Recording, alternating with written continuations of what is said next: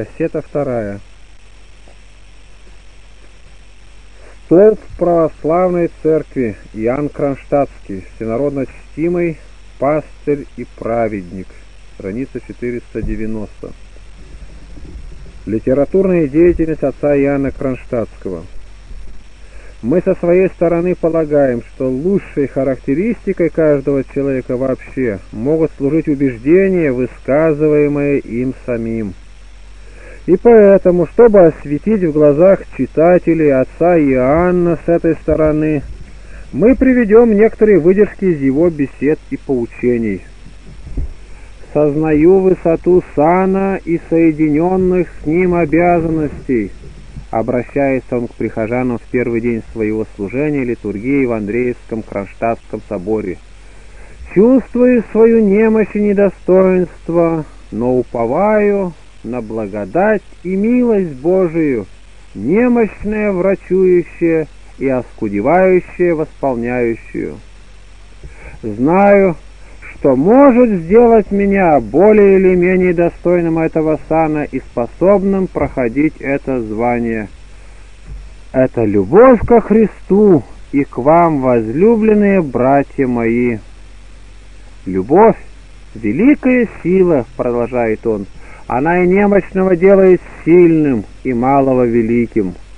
Да даст и мне, любвеобильный ко всем Господь, искру этой любви, да воспламенит ее во мне Духом Своим святым.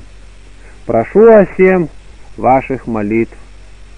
С первых дней священства, с каждый воскресный праздничный день, Прежде всего он начинает излагать и объяснять своей пастве главное догматическое учение православной церкви о Пресвятой Троице, о Боге как Творце мира и так далее.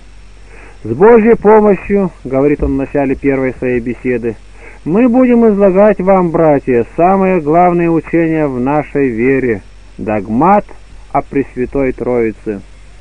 Хотя есть между нами знающие хорошо это учение, которые не требуют, да кто учит их, но таких очень немного, несравненно больше знающих нехорошо, а служитель святого алтаря должен всем преподать учение веры, ясное и отчетливое. Да и для хорошо знающих не лишнее дело повторять в памяти знакомое им учение веры, как не лишнее дело — постоянно видеть глазами свет или вдыхать и выдыхать воздух. Учение Пресвятой Троицы, повторяет он, так важно, что в вере христианской нет важнее и возвышеннее этого учения. Затем, излагая веру о тайне троичности лиц, отец Иоанн говорит, «Где нет тайн, Человек сам для себя и в своей душе, и в своем теле есть тайна. Есть бесчисленное множество тайн и в окружающей нас природе. Человек так мало знает в сравнении с тем, чего еще не знает, несмотря на успехи современных естественных наук, что каждый из нас должен смиренно сознаться вместе с одним из древних мудрецов в том, что мы знаем лишь только то, что ничего не знаем. Не знать, как должно при божественной троице со стороны христианина, было бы безумной дерзостью и неблагодарностью. Итак, братья, заканчивает он свою вступительную беседу о величайшем догмате христианской веры, будем помнить, что от правильного познания трисиятельного божества зависит наша судьба. Все есть жизнь вечная, да знают Тебя единого истинного Бога и посланного Тобою Иисуса Христа. Приступая к беседе о явлении Бога во плоти, он восторженно восклицает «О, чудо чудес! Бог, содержащий вселенную всю словом своим, сделался человеком, чтобы человека вознести на первое блаженство». Ужасается всем небо и земля, удивляется до концов, поет Христова Церковь, ибо Бог явился человеком во плоти. В других своих беседах отец Иоанн касается главных основ христианской нравственности, а именно учение о блаженствах евангельских. Как в предыдущих, так и в дальнейших поучениях везде заметно самостоятельное развитие его мысли, которое особенно сильно всегда действует на окружающих тем, что все сказанное им прочувствовано в глубине сердца и неукоснительно применялось и применяется им до сих пор в обыденной жизни. Так, во вступительной беседе об основах христианской нравственности, о блаженствах евангельских, он обращается к слушателям с такими словами. «Кто вы, предстоящие здесь во святом храме и смиренно внимающие немощному слову незнатного проповедника? Немудрое мира, немощное и худородное, большей части слушатели мои, блаженны вы нищие духом, ибо ваше есть Царствие Небесное» ибо, сознавая свое духовное невежество, свою греховность, пришли сюда.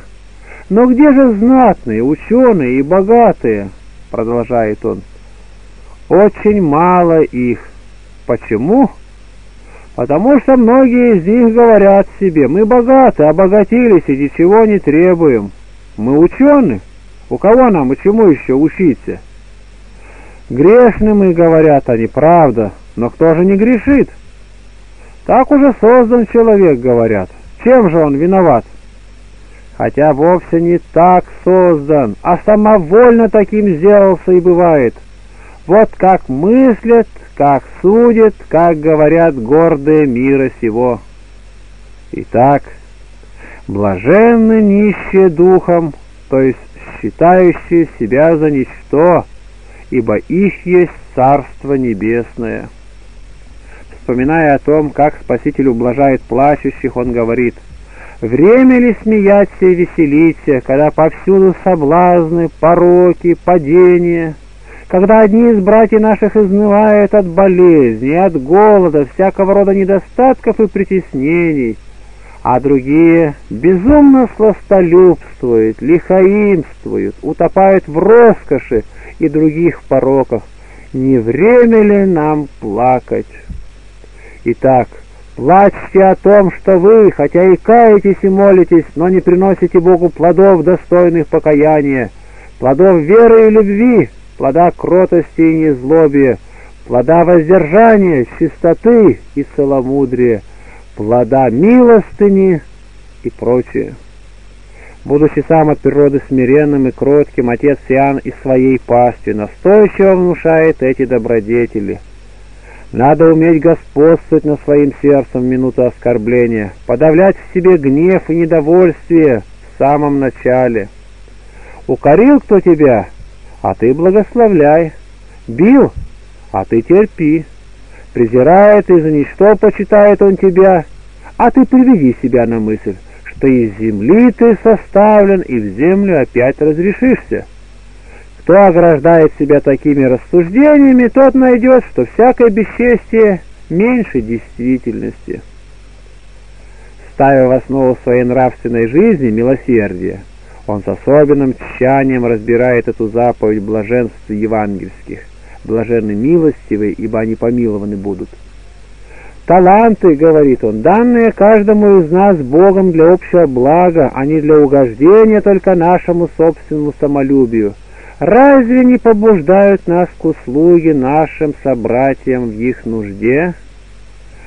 Тебе оставлен нищий, хотя ты и слишком надменно проходишь мимо него. Вразумись чужими бедами, дай хотя самую малость бедному, и то не будет малостью для того, кто нуждается, а для самого Бога, если подаяние будет по силе.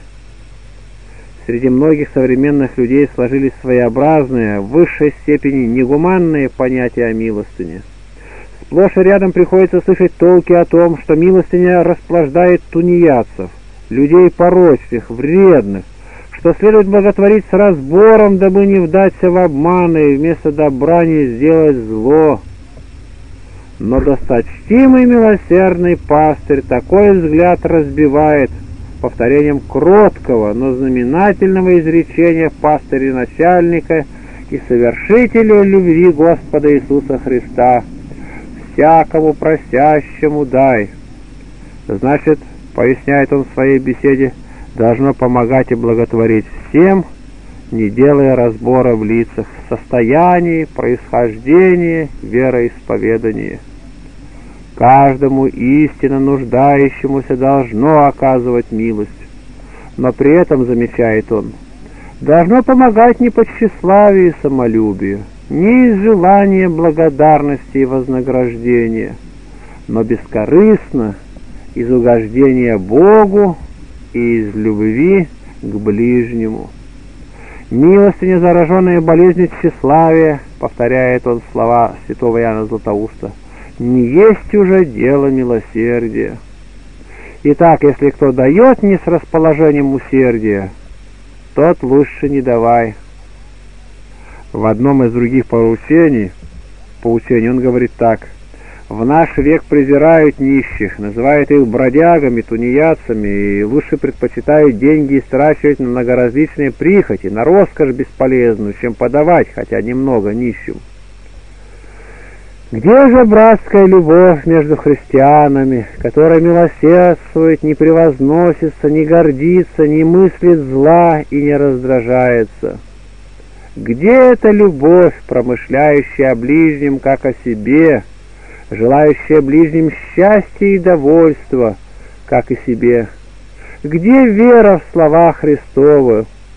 Так как вы сделали это одному из братьев моих меньших, то сделали мне.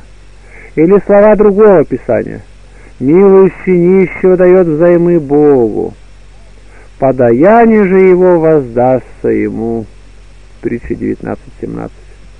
В наш век наживы встречаются, к несчастью, слишком частые примеры того, как некоторые лица нечестным путем нажившие состояние пускаются в широкую благотворительность, то есть жертвуют громадные суммы на богоугодные заведения, сами предпринимают учреждения таких заведений, отделяют нищих и тому подобное. Но вот как смотрит на благотворительность этих людей отец Иоанн должно делать добро из своей собственности, приобретенной честными трудами, а не хищением, обманом и неправдою. И что подавать милости недостаточную, надо бы ограничивать свои издержки, например, не покупать излишних дорогих вещей роскоши, без коих можно легко обойтись, ибо это есть похищение собственности бедных, так как избытки наши принадлежат им. Много практикующие врачи, получающие много денег с больных, должны для души своей подавать щедрую милостыню, если верят, что у них есть бессмертная душа. Богатые священники, получающие щедрое вознаграждение за свои труды, молитвенные, также должны подавать богатую милостыню. Да не осуждены будут с Иудою предателем, продавшим за серебряники Господа славы. Купцы, получающие большие барыши, должны непременно упражняться в милостыне и в украшении и снабжении храмов Божиих.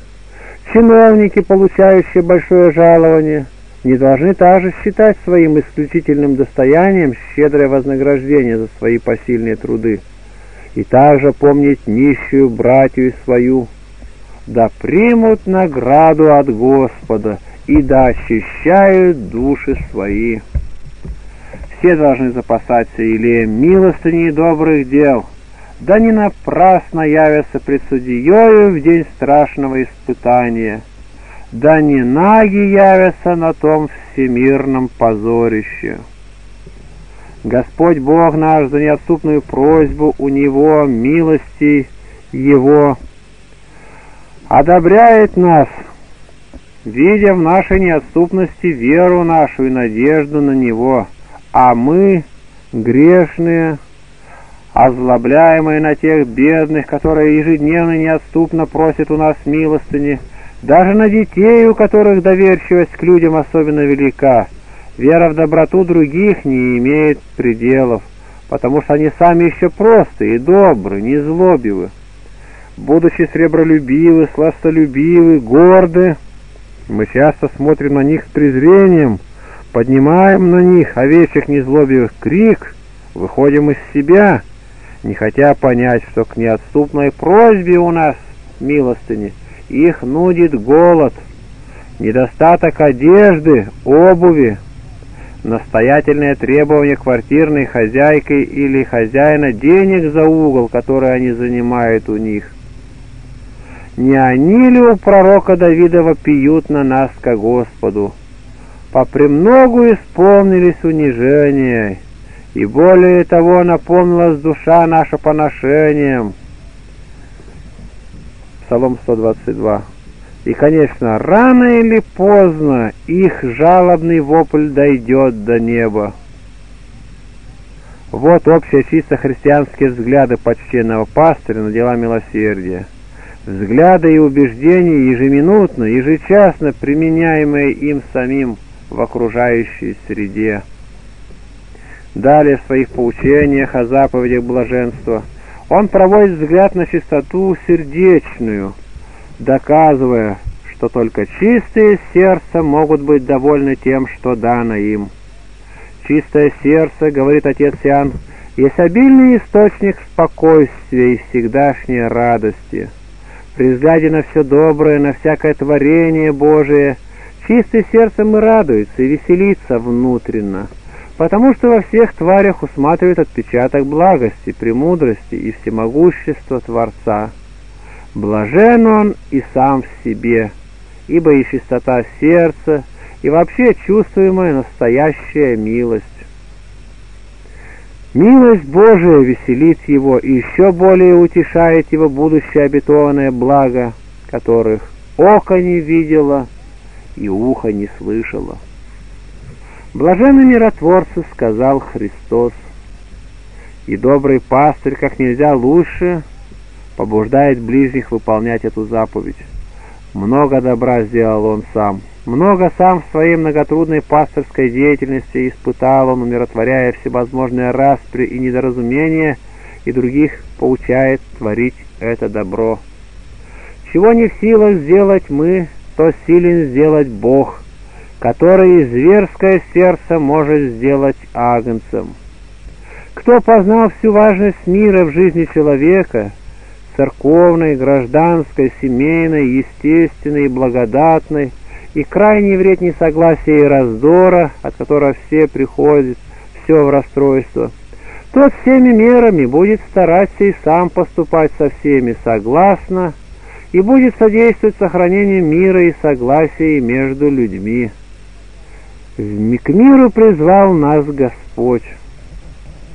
Мы переживаем тяжелое время неверия и материализма. Во всех слоях общества встречается масса людей, зараженных современным, так называемым либеральным взглядом на религию и на душевные добродетели. В редком случае не натолкнешься на оппонентов всего святого и на гонителей истины. Видя весь вред такого нравственного упадка, отец Иоанн спрашивает, если теперь поношение и гонение за правду, за веру Христа есть и будут до скончания мира, отвечает он, потому что не пришло еще Царствие Божие во всей силе для многих, а для большей части еще совсем не пришло. Есть много нечестия и неправды в самых христианских обществах еще не связан сатана и свободно обходит землю. Теперь-то, кажется, он наиболее свирепствует на держащихся правой веры.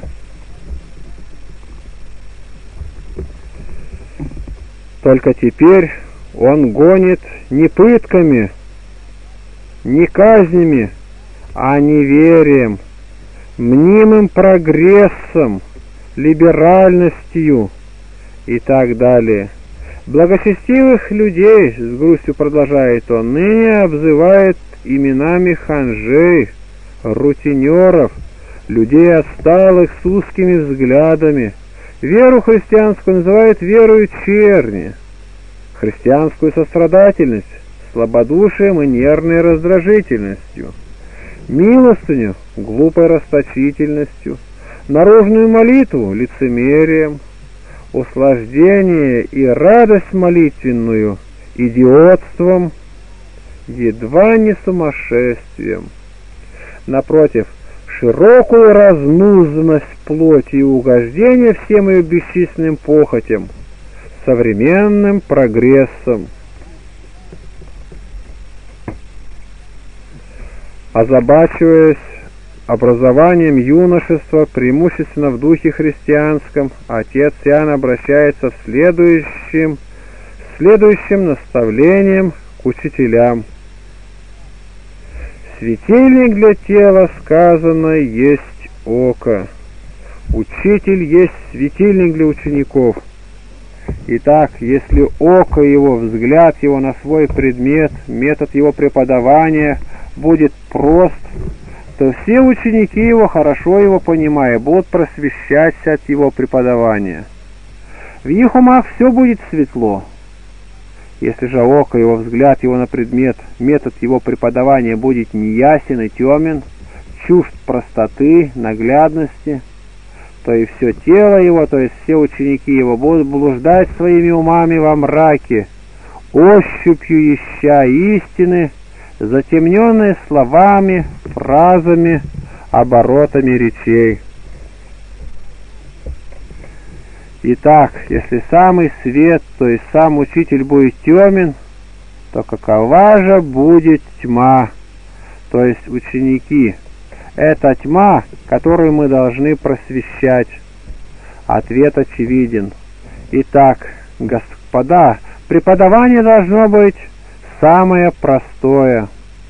Но если простое, то само собой разумеется немногосложное. Любящий многосложность хотя бы в учении, Господь говорит, не лишь глаголите, то есть не говорите лишнего, или ты заботишься и суетишься о многом, а одно только нужно, или жизнь человека не зависит от изобилия его мнения, то есть, между прочим, и от изобилия многоразличных познаний – не в том сила, чтобы преподать много, а в том, чтобы преподать немногое, но существенно нужное для ученика в его положении. Область знаний безгранична, но область полезных и существенно необходимых знаний ограничена.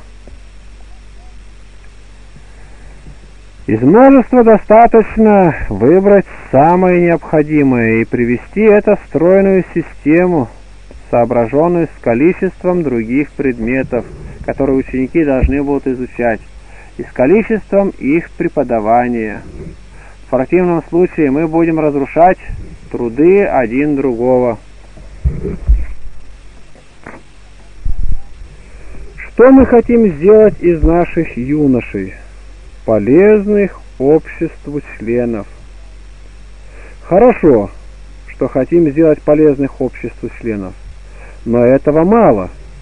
Истинно полезные христианскому обществу члены могут быть только воспитанные в христианских понятиях, правилах, обычаях.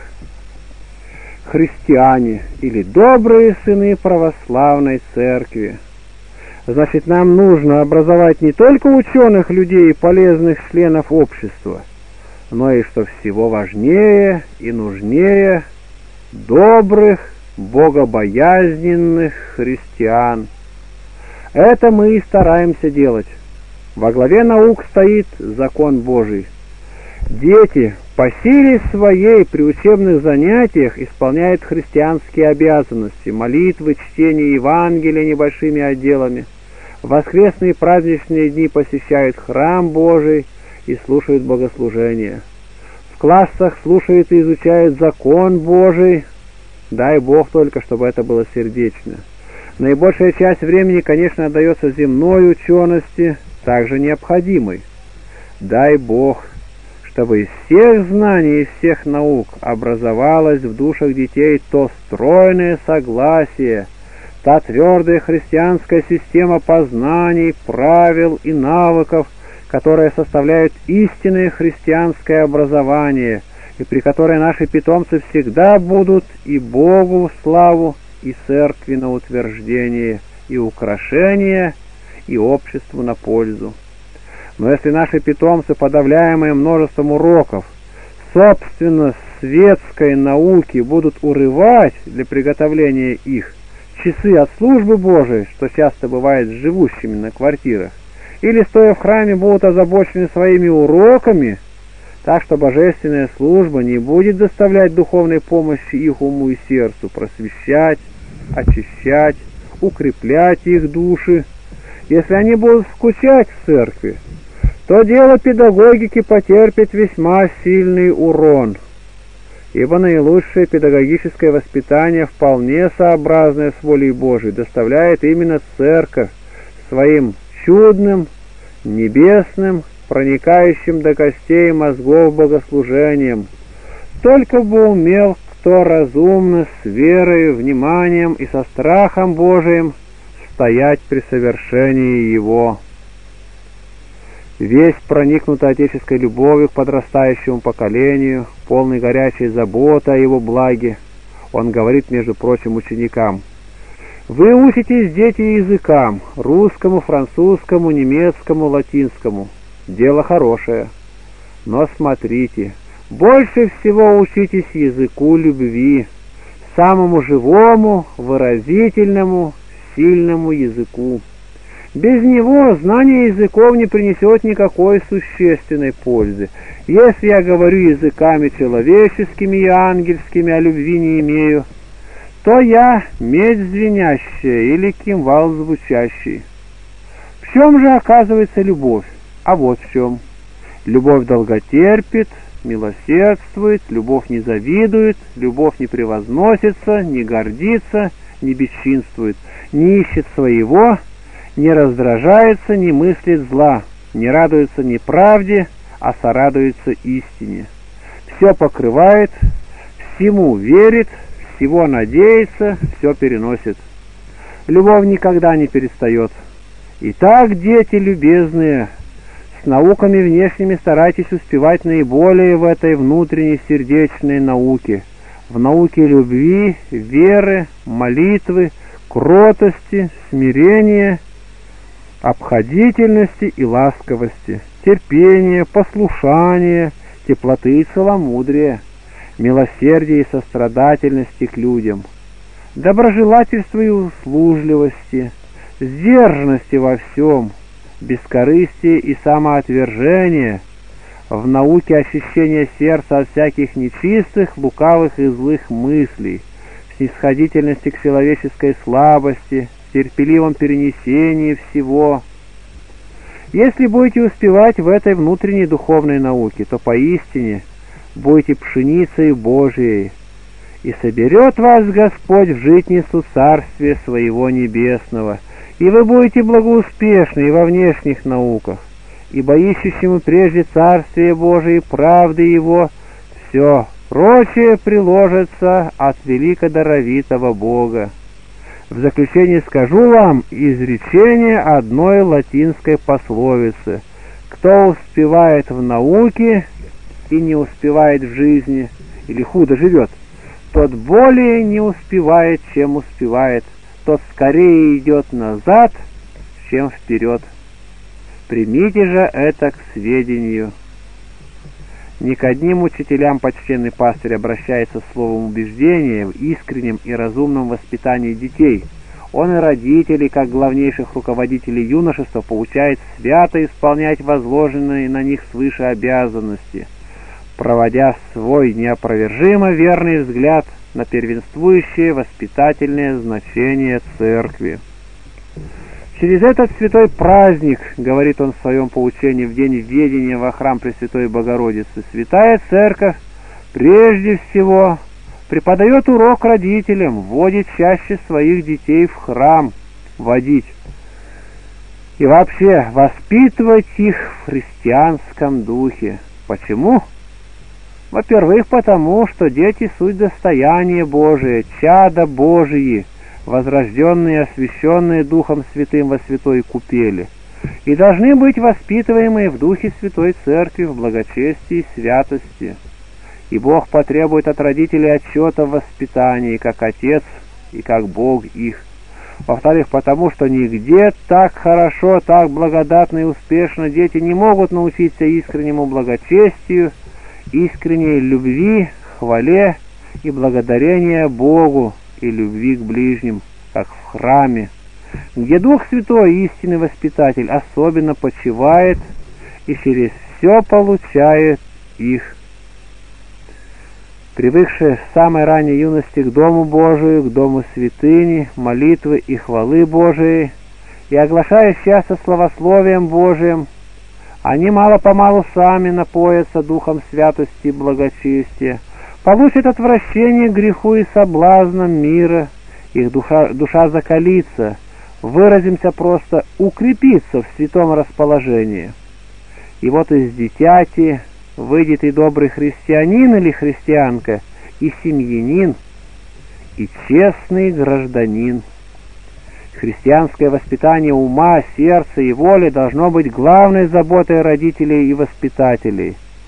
Это истина несомненная.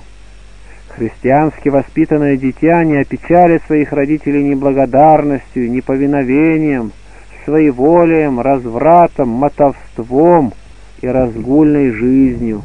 Не посягнет на свою жизнь из-за неудач в погоне за удовольствием и корыстью не будет глумиться над святынею, не будет отвергать вечные истины веры и нравственности, не будет своими умствованиями и поступками расшатывать основы семейной, религиозной и общественной жизни, как это, это к несчастью бывает теперь с некоторыми юношами и возрастными. Все беспорядки и преступления в семье и обществе происходят от недостатка в преступниках веры в Бога, которая есть корень всякого добра и порядка, и по причине отчуждения их от религии и от церкви. Кто удаляется от церкви, тот удаляется от света, тот удаляется от Бога и впадает в непроглядную тьму страстей человеческих. Учившаяся и недоучившаяся молодежь редко ходит в церковь вообще, не ведет дело воспитания своего духовного, считая его как бы ненужным и отдаваясь житейской суете. На это надо обратить внимание. Это плод гордости, неразвитости духовной. Считает посещение храма и богослужения общественного делом простого народа, да женщин, забывая, что в храме со страхом служат вместе с человеками ангелы, и вменяет это себе величайшее блаженство. Не от того ли холодность к общественному богослужению происходит, что одни не понимают его, а другие, хотя и учили науку о богослужении, но ее преподали им сухо, без примеров, одному рассудку, тогда как богослужение, будучи высоким созерцанием ума, и есть вместе по преимуществу мир, сладость и блаженство для сердца. Учившаяся и недоучившаяся молодежь редко ходит в церковь, вообще не ведет дело воспитания своего духовного, считая его как бы ненужным и отдаваясь житейской суете. На это надо обратить внимание. Это плод гордости, неразвитости духовной считают посещение храма и богослужения общественного делом простого народа до женщин, забывая, что в храме со страхом служат вместе с человеками ангелы и вменяют это себе в величайшее блаженство. Не от того ли холодность к общественному богослужению происходит, что одни не понимают его, а другие, хотя и учили науку о богослужении, но ее преподавали им сухо, без примеров, одному рассудку, тогда как богослужение, будучи высоким созерцанием ума, и есть вместе и по преимуществу мир, сладость и блаженство для сердца. С необыкновенной строгостью относясь к посту, установленному каноническими правилами церкви, отец Иоанна убеждает и паству – не пренебрегать постом, имеющим громадное воздействие на нравственную чистоту. «Что тебе за польза от лакомой пищи и напитков?» — говорит он. Как тебе не стыдно обременять себя ими? Зачем ты отдаешь себя во власть чувственности? Или тебе это приятно? Смотри, мнимая сладость твоих удовольствий есть опасная приманка плоти. Бойся этой приманки, если хочешь быть с Богом, если хочешь быть вечным, благополучным, то ты должен согласиться, что тебе надо попаститься душою своею, собрать свой ум, помышления исправить, мысли очистить, вместо рубища дать неправедных, рубища дел неправедных, украсить себя драгоценной одеждой добрых дел. Телесный пост установлен для того, чтобы легче было поститься душе. В современном обществе сложились крайне печальные и своеобразные понятия об исповеди, на которые многие смотрят как на простой обряд, как на принудительную гражданскую обязанность, нужную идею для того, чтобы получить свидетельство об исповеди, необходимое в разных случаях жизни и тому подобное. Но отец Иоанн, усматривая такое постыдное отношение к таинству покаяния и сознавая всю высоту этого таинства, сначала кротко укоряет паству, а потом убеждает. Весьма многие приходят на дух с совершенным равнодушием. Если бы у них не спросили ничего, то они ничего бы не сказали, или сказали только вообще, что где грешен Отец Духовный во всех грехах. Если бы еще это сказали с сердечным сознанием своей вины, нет, то их горе, что без сознания грехов своих, а так, чтобы скорее кончить дело. Возлюбленные, не будем дело крайнего милосердия Божия к нам грешным обращать в повод гневу Божию. Что мы за бесчувственные такие? Нам ли не о чем поскорбеть на исповеди? Мало ли у нас грехов, если бы мы и всю жизнь стали плакать о грехах своих, и тогда бы не сделали ничего лишнего, а только должное. Из многих поучений о крестном знамени не можем не привести несколько слов, указывающих на то, какую важность крестному знамени придает отец Иоанн.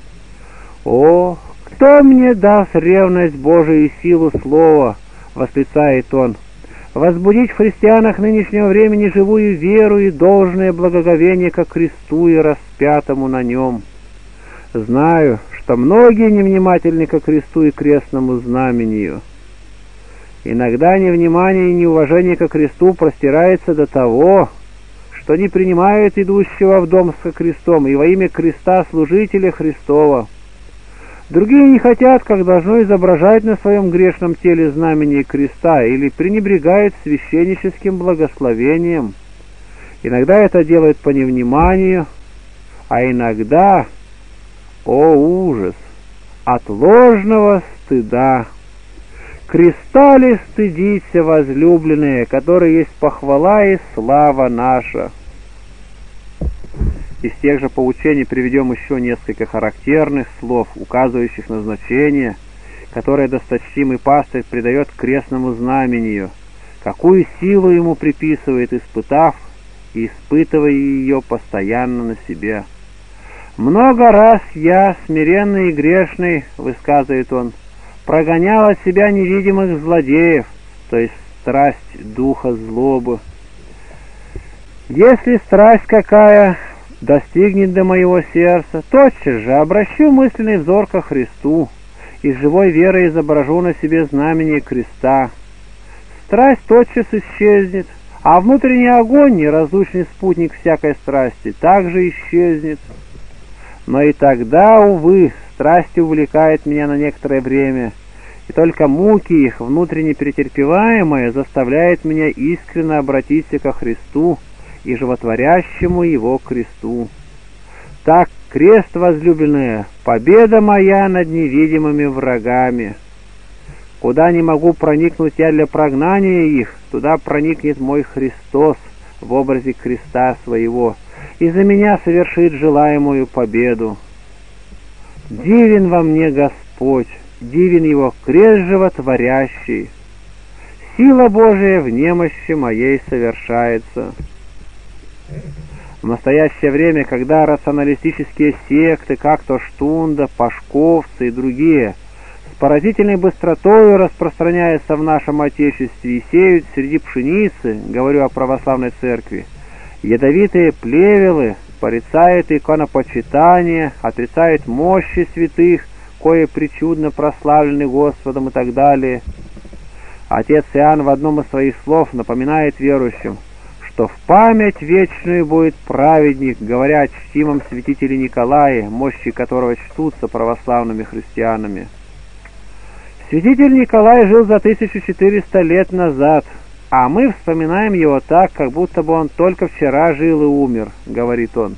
Так живо нам представляется его святая богоугодная жизнь, его благотворение людям. Отчего он живет в вечной памяти людей? от того, что добродетель бессмертна, от того, что и по смерти он жив, и, живя на небесах, взирает оттоль на нас, живущих на земле, и благотворно действует на тех, которые призывают его в помощь с верою и любовью. Так, недаром праведник вечно прославляется церковью. Эта слава есть, так сказать, отголосок его бессмертных великих дел — постоянный отзыв его с неба на наши призывания в нуждах душевных и телесных. Святые Божьи человеки живы и по смерти, и мало того, что живы сами, и других по благодати Божией оживотворяет душевно и телесно. В заключение приведенных нами отрывков из многочисленных сочинений отца Иоанна не можем не познакомить читателя со взглядом почтенного проповедника – на нравственную жизнь современного общества вообще. Мы видим, что современный человек упал крайне глубоко, весь погрузился в чувственность, связал всего себя житейскими страстями и чувственными удовольствиями, извратил порядок жизни, указанный Творцом, и таким образом не только не следует божественному плану спасения нашего, но насколько этот план касается его, разрушает он и. Посмотрите со вниманием на жизнь современного человека, продолжает он, как она неестественна, как нехристиански препровождается. Посмотрите, как он извратил самое наслаждение чувственное – для обоняния и вкуса, и отчасти для самого дыхания он изобрел и воскуряет острый пахучий дым, принося это как бы постоянное кадило демону, живущему во плоти. Заражает этим дымом воздух жилища своего и воздух внешний. Чрево стало идолом. Постов многие совсем не держат, считая их тягостными. Пирование и пьянство сделалось явлениями постоянными. Деньги стали положительно современным кумиром, и для легкого приобретения их люди не пренебрегают никакими средствами, как бы они ни были неблагородны, нечестны. Все помыслы, заботы, забавы, в том числе игры, словом удовольствие, искательство, намерения, предприятия, даже учения, направленные к земле, о небе, о небесном звании, о небесном учении житии во многих домах нет и помину. Человек-христианин, где ты? Как ты глубоко не спал? В какую ты тьму зашел сам добровольно? Да простят нас читателей за несколько пространные выдержки из сочинения отца Иоанна, которые мы решили сделать, ввиду более полного и общего ознакомления с многочисленными проповедями почтенного пастыря, с его нравственными убеждениями и взглядами. Сочинения его, как мы уже упоминали, были первоначально изданы в 13 выпусках. В настоящее время печатается полное собрание его сочинений, еще не законченное – четвертом и пятом томах напечатаны мысли отца Иоанна под заглавием «Моя жизнь во Христе» или «Минуты духовного трезвения и созерцания, благоговейного чувства, душевного исправления и покоя в Боге». Извлечение из дневника. На каждый праздник, на каждое событие У отца Иоанна есть по несколько поучений. Словом, все сочинения его, выпущенные в продажу, заключают в себе слова, беседы, поучения и речи на круглый церковный год и на все выдающиеся события и разные случаи. Теперь приведем несколько отзывов некоторых компетентных лиц о дневнике отца Иоанна. Богословский вестник, издающий при Московской Духовной Академии, в одном из номеров настоящего года в статье «Впечатление читателя дневника» отца Яна Кронштадтского говорит так. «Книга «Моя жизнь во Христе» может вызвать сильный переворот в сердцах читателей. Много есть людей, у которых не совсем угасло стремление найти истину.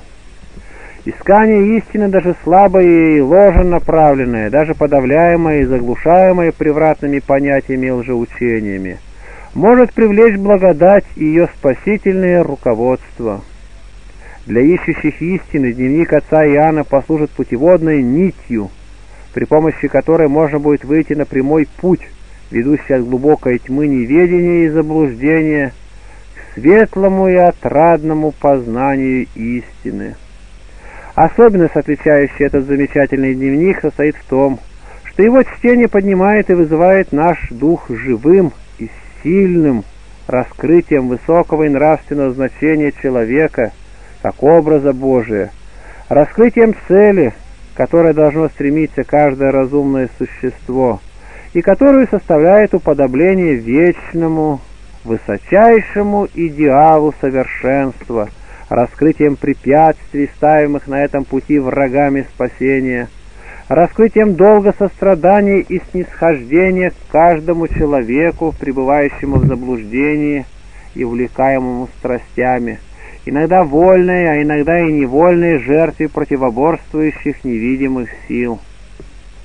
Великие образцы подвижничества вызваны в свое время верою христианскую, но ныне требуется подвижничество иного рода – не аскетизм, не удаление в пустыне для уединенных молитвенных подвигов и созерцаний, а нужны люди, которые, живя среди подобных себе людей, светили бы им своею жизнью, своим живым благодатным словом, спасая их от ложных направлений, извлекая их из мрака заблуждений и погружения в чувственность обращая их к свету истины, добра, мира, любви, духовного преуспеяния, направляя всех в царство вечной любви, мира и блаженства.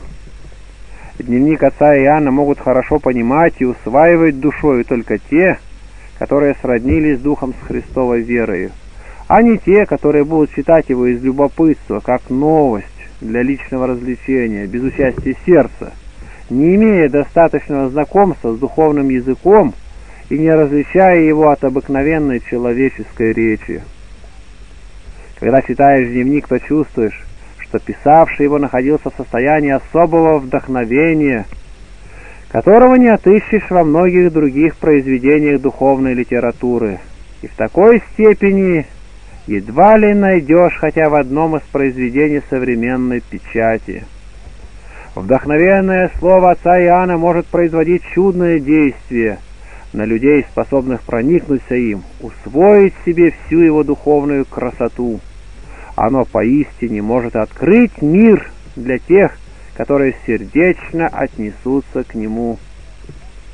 Но много ли найдется таких людей – не большая ли часть читающих отнесется к этому слову равнодушно, вскользь, или с неправильным пониманием, или, что еще хуже, с превратным взглядом и ложными предвзятыми понятиями, и даже еще будет почитать себя вправе судить о книге, так мало для них доступной. О, если бы истинный источник воды живой своим словом и словом верных рабов своих обильно напоил жаждущие души! Отрадно верить, что так и будет, если мы откроем сердца свои. Священник Страхов пишет в московских церковных ведомостях. Характер дневника хорошо определяется тем самым заглавием, которое дано ему в печатном издании самим автором – Дневник отца Иоанна есть изображение тех минут духовного трезвения и созерцания, благоговейного чувства, душевного исправления и покоя в Боге, которых он удостоился и которые составляют его жизнь во Христе. Таким образом, он есть дневник, собственно, духовной жизни отца Иоанна, запись благодатных мыслей и чувств, рождавшихся в нем вследствие того благодатного озарения души, которого он, по его собственным словам, удостоился от всепро... от всепросвещающего Духа Божия в минуты глубокого к себе внимания и самоиспытания, особенно во время молитвы. Эти мысли и чувства обращены или к самому Господу Богу в форме молитвы, и к своему «я» в форме бесед с самим собою, или же к другим лицам в форме наставлений, как бы отрывков из проповеднических произведений. Они касаются различных предметов веры и нравоучения имеют важное теоретическое значение. Глубокие мысли высказывает отец Иоанн о промысле Божьем, о таинстве Святейшей Евхаристии, об отношении между членами церквей небесной и земной, о молитвах святых и другое. Но этого мало. Дневник отца Иоанна имеет большое значение. Это школа духовной жизни. Это потому, что об явлениях духовной жизни автор говорит не только как такой человек, которому через образование науками Господь открыл все богатство веры и природы и разума человеческого, обильно открыл истину свою и правду свою, но и более того, как человек – имевший богатый духовный опыт. Отсюда, например, мысль о молитве или благодатных дарах причащения тела и крови Христовых и другое получает особое значение. Излагая их, отец Иоанн часто указывает на свой собственный опыт, восклицает «Истина с опыта». Читающим эти мысли не должно ли возгореться желание, хотя и отчасти, достигнуть той духовной жизни, которая изображается отцом Иоанном по опыту, насладиться радостью и миром о Духе Святем, испытать сладость причащения святых тайн и так далее. И для этого трудиться над своей собственной душою, употребляя испытанные отцом Иоанном средства, глубокое внимание к себе, самоиспытание – и молитва. И нам думается, что сам досточтимый пастырь, главным образом ради возбуждения в других жажды духовной жизни, дозволил издать в свет свой интимный дневник, исповедуя благодать Божию, по которой он удостоился минут духовного трезвения и созерцания. Он исповедовал это ради того, чтобы Бог, источник духовной жизни, был познан и другими людьми Благодарение Богу за дарованное ему опытное познание жизни в нем, он заключает такими молитвенными словами. «Познан будь и прочими людьми твоими так же, как ты явился и мне, человека любче». Бирский священник, отец Спиранский, пишет в редакцию русского паломника по поводу печатающегося дневника следующее – Примите мою признательность и благодарность за помещаемые в издаваемом вами журнале «Русский паломник» отрывки из дневника протеерея Иоанна Ильича Сергиева. Живую веру, светлые надежды и отрадные утешения поселяют эти краткие, но вместе с тем глубоко назидательные, чистые и высоко истинные Высокие истины в метущейся душе великого грешника-христианина. Как легко становится на душе, когда прочтешь и прочувствуешь эти золотые и краткие строки из дневника уважаемого светильника Церкви Христовой. А как живо и полно отвечают они на все вопросы твоего пытливого ума, жаждущего иногда постигнуть истины, и без того уже ясное, еще с большей очевидностью, так сказать, с ревностью не по разуму. Я точнее этих не находил ответов. О написании дневника сам отец Иоанн в своей автобиографии говорит так. «С первых же дней своего высокого служения я поставил себе за правило сколь возможно, искренне относиться к своему делу пасторства и священнослужения, строго следить за собой, за своей внутренней жизнью. С этой целью я прежде всего принялся за чтение Священного Писания Ветхого и Нового Завета, извлекая из него назидательные для себя, как для человека, священника и члена общества. Потом я стал вести дневник, в котором записывал свою борьбу с помыслами и страстями, свои покаянные чувства, свои тайные молитвы ко Господу и свои благодарные чувства за избавление от искушений, скорбей и напастей. Затем в одном месте дневника он говорит так.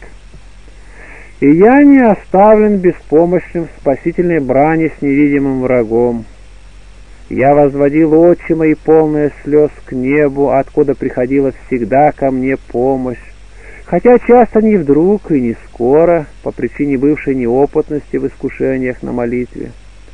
При непрестанных внутренних искушениях я должен был постоянно обращать душевное око мое внутрь себя, чтобы усматривать нападения невидимых врагов, и таким образом приучил себя почти к непрестанному духовному созерцанию и тайной молитве, и всегдашнему благодарению Господа за неспосылаемую мне помощь в духовной войне. Ибо с помощью Божией я всегда, в конце концов, выходил победителем из нее, хотя при начале моего служения был часто побеждаем коварством и хитростью бесплотных врагов. При таком характере моей внутренней жизни Господь сподоблял меня часто чудных внутренних озарений и светлых мыслей касательно молитвы вообще и разных предметов веры и жизни христианской. Я старался не пропускать их без особенного внимания и записывал их в свой дневник. Таким образом, составилось в течение 35 лет много рукописных заметок моих об этих предметах, который я осмеливаюсь предложить в извлечении внимания почтенной публики. Это самые беглые летучие заметки, написанные на всяком месте, то карандашом, то чернилами. Прошу не взыскать за то, что было написано для себя, а не на показ кому-либо. В предисловии к своему изданию дневника он высказывается таким образом – все содержащееся в нем, то есть в дневнике, есть не иное, что как благодатное озарение души, которого я удостоился от всепросвещающего Духа Божия. В минуты глубокого к себе внимания и самоиспытания, особенно во время молитвы, когда мог, я записывал благодатные мысли и чувства, и из этих записок многих годов составилась теперь книга Теперь предложу читателю выдержки из обширного дневника отца Иоанна. «Обильно открыл ты мне, Господи, истину Твою и правду Твою. Через образование меня науками открыл ты мне все богатство веры и природы и разума человеческого. Уведал я Слово Твое, Слово любви, проходящее до разделения души и духа нашего» изучил законы ума человеческого и его любомудрие, строение и красоту речи, проник отчасти в тайны природы, в законы ее, в бездны мироздания и законы мирообращения, зная населенность земного шара, сведал о народах отдельных, о лицах знаменитых, о делах их, прошедших своей чередою в мире — отчасти познал великую науку самопознания и приближения к тебе. Словом, многое-многое узнал я, так что больше разума человеческого показано мне. Серахов 3.23. И доселе еще многое узнаю. Много книг у меня многоразличного содержания, читаю и перечитываю их но все еще не насытился. Все еще дух мой жаждет знаний, все сердце мое не удовлетворяется, не сыто и от всех познаний, приобретенных умом, не может получить полного блаженства. Когда же оно насытится? Насытится, когда явит меня в славе своей. а до тех пор я не насыщусь. Пьющий от воды сей, от мирских знаний, вас жаждет снова, а пьющий от воды, которую я дам ему, не вас жаждет вовеки. Но вода, которую я дам ему, сделается в нем источником воды, текущей в жизнь вечную, сказал Спаситель. Куда ни посмотрю сердечными очами, внутрь ли себя, на себя ли, вне ли себя, везде вижу сильный повод к благодарению и славословию Господа. Особенно, когда смотрю только внутрь себя, тогда вижу самый сильный повод к прошению, благодарению и славословию. Вся сила сердца моего, весь свет, отчей сердца моего от Бога, вся крепость телесная, все служащее к поддержанию жизни телесной от Бога. Везде вижу славу, единую славу Бога моего, и ничего не вижу в себе, чем бы мог я похвалиться, как своим. Слава дающему мне крепость, слава действующему мною и во мне, так как я ничего своего не имею, а имею все от Бога, до малейшего доброго движения сердечного, до мысли святой и светлой, а без Бога я ничтожество, хуже всякое, хуже я всякое зло, то я имею сильный повод за всех прибегать с, принош... с прошением к Богу. Особенно я имею сильный повод благодарить Бога моего за причистые и животворящие Его тайны, тело и кровь. Они все для меня. Если я, будучи человек немощный, когда захочу сделать что-либо заключающееся в пределах моей возможности, то сделаю. Например, хочу написать сочинение и напишу. Захочу излечить болезнь и излечу. Захочу сделать вещь и сделаю. Например, построить дом, храм и построю. Или, например, скажу одному «приди» и придет, «отойди» и отойдет сделай то и сделает, то Бог ли всемогущий не сделает всего, что только вас хочет. Бог наш на небесах и на земле делает все, что хочет. Если человек иногда только скажет два слова, что было то-то, и бывает, хотя не вдруг, а через несколько времени, то не сделается ли вдруг все, что наречется от слова Творца – не от одного ли его слова вдруг сделается все, что он не восхочет? Он скажет и сделается, он повелит и создастся. Мы не творцы людей, а они, по нашему слову, делают так много. Мы не творцы вещей, но вещи по нашему желанию и действию принимают тысячи форм, служат для бесчисленных потребностей и удовольствий. Мы не творцы вещей, но творим из вещества великие и малые предметы. Сам ли Творец везде все исполняющий, по слову которого все пришло из небытия в бытие, по мысли, по воле и слову коего сотворено и существует все бесконечное разнообразие вещей, не сотворит, что захочет? Если врач человек оживляет иногда полумертвого по причине знания своего дела и по искусному, меткому воздействию на причину болезни, то творец ли врачей и врачевания не исцелит одним хотением и словом всякой болезни? Творец ли не воздвигнет и мертвеца одним словом своим? Дадим славу ему мы, маловерные, и скажем ему от сердца — все возможно тебе, владыка, невозможного тебе нет. Аминь. Кто я?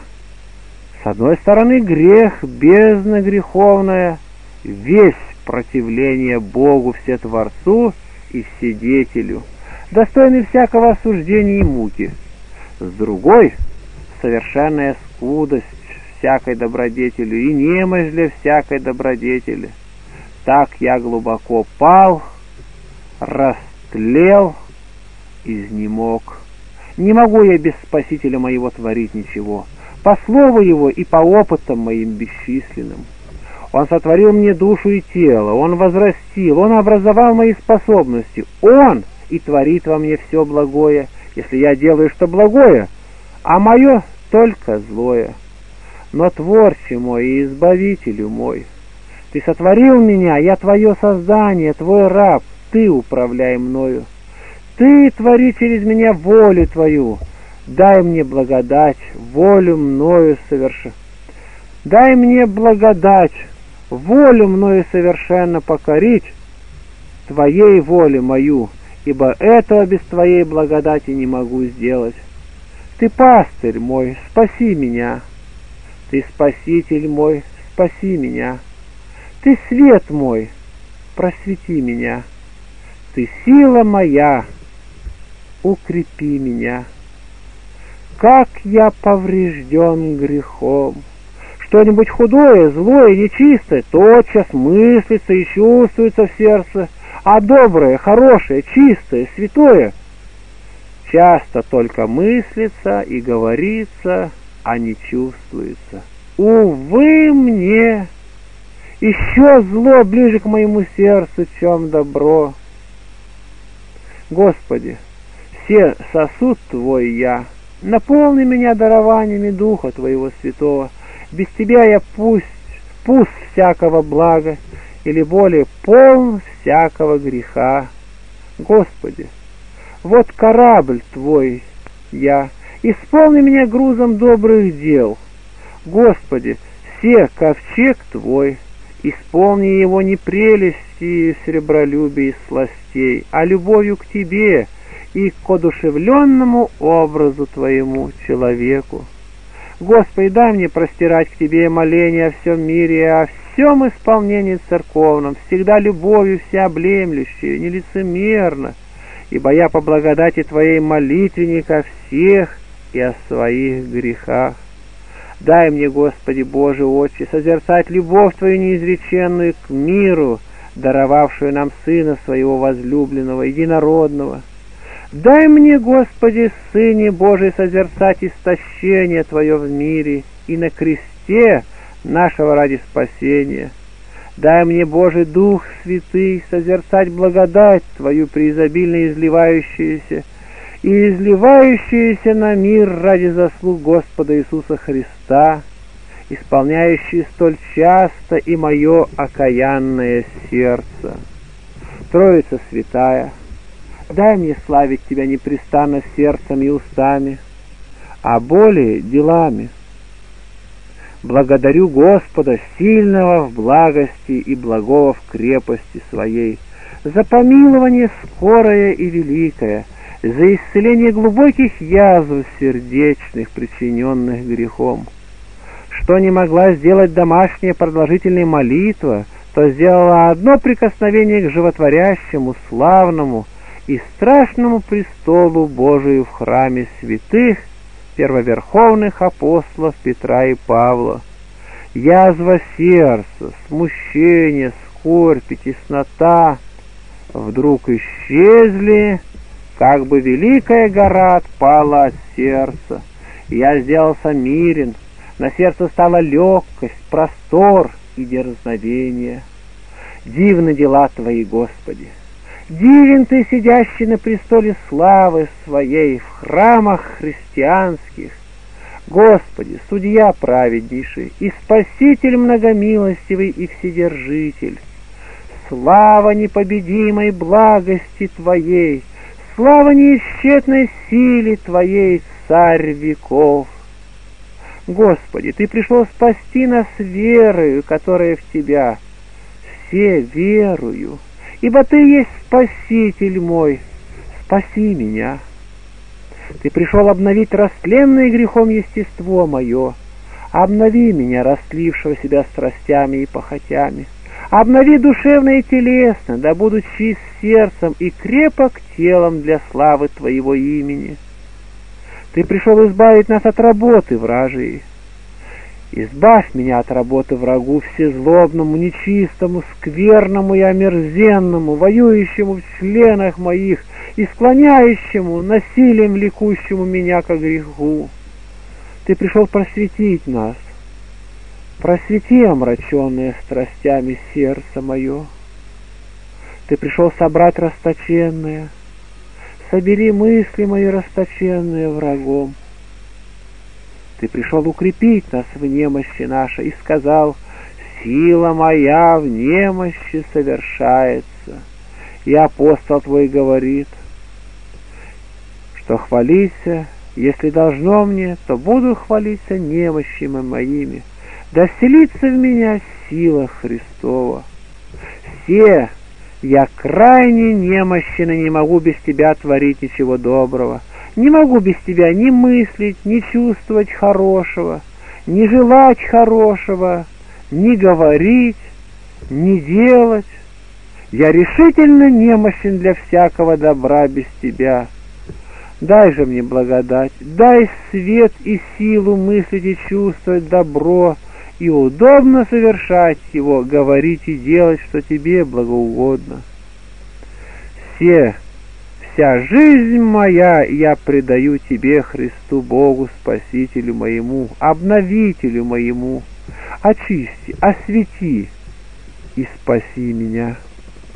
Сердце чистое созижди во мне, Боже, и дух правый обнови во утробе моей. Помоги мне. Близка и скоро без тебя погибель моя на всякий час. Я ничто, но по благодати священства через преподание божественного тела и крови делаясь вторичным или третичным виновником исцеления болезней, Через меня благодать Духа возрождает к паке битию младенцев и возрастных, совершает в таинстве Евхаристии тело и кровь Иисуса Христа, соединяет верных с божеством, через меня решит и вяжет грехи человеческие, затворяет и отворяет небо, подает душеспасительные советы, правила и прочее. О, как досточтим сан священства! Братья, видите ли, сколько благодеяний изливает на нас Творец и Спаситель через священников? Сколь беспристрастен должен быть священник к земным вещам, чтобы, совершая тайные службы и столь высокое пренебесное таинство, быть неуловимым от врага и гореть всегда чистой любовью к Богу и к сочеловекам, погибающим от грехов, и спасаемым благодатью Христовой во Святом Духе. Но сколь велик навык наш ко греху, сколь сильны наши пристрастия земные, и совершая таинство, мы иногда не отлагаем совершенно житейских попечений и пристрастий по навыкновению к ним. И потому враг смущает, омрачает и превращает наш ум, связует сердце и берет нас свой тяжкий плен и по делам. Не мечтай, священник должен быть ангелом по возвышенности мыслей, по чистоте душевной и телесной, по горячности к Богу Всетворцу и Спасителю и к людям своим братьям. Священник, как врач душ, сам должен быть свободен от душевных недугов, то есть от страстей, чтобы врачевать других – как пастырь должен сам быть упасен на пажитях злачных, евангельских и святоотеческих, чтобы знать, где пасти словесных овец. Сам должен быть искусен в борьбе с мысленными волками, чтобы уметь прогонять их от стада Христова. Должен быть искусен и силен в молитве, воздержании, не должен быть связан с житейскими похотями и сластями, особенно любостяжанием, славолюбием, гордостью. Словом, должен быть сам светом, чтобы просвещать других, солью духовную, чтобы предохранять других от душевного растления, и сам быть свободным от растления страстей. В противном случае ему всякий больной духовно может сказать «Врач, исцелися сам». Исцелися сам наперед, а потом я дам тебе лечить себя, лицемер. Вытащи прежде бревно из глаз, с глаза твоего, и тогда увидишь, как вытащить сучок из моего глаза.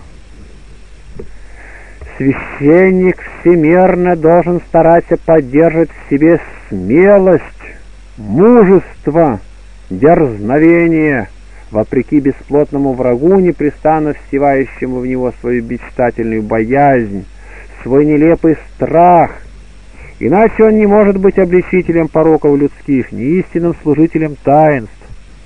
Дерзновение — великий дар Божий и великое сокровище души. В земной брани или войне смелость или храбрость много значит, ибо она творит просто чудеса, а в духовной брани и тем паче. Ты представитель веры и церкви, о Иерей! Ты представитель самого Христа Господа! Ты должен быть образцом кротости, чистоты, мужества, твердости, терпения, возвышенного духа. Ты делаешь дело Божие, и ни перед кем не должен упадать духом, никому не должен льстить, раболепствовать и считать дело свое выше всех дел человеческих. Внимай себе непрестанно, чтобы не истякла в тебе духовная жизнь, духовное мудрование. Размышляй чаще о всем том, что читаешь и поешь, или слушаешь в церкви, или иногда на дому. Живи жизнью святых, молитвою, мудрованием их, добродетелями их кротостью и смиренно-мудрием, незлобием, непощадением и отвержением себя, своего покоя, довольства и наслаждения ради любви к Богу и ближнему. Истинный пастырь и отец своих посомых будет жить в признательной памяти их и по смерти своей.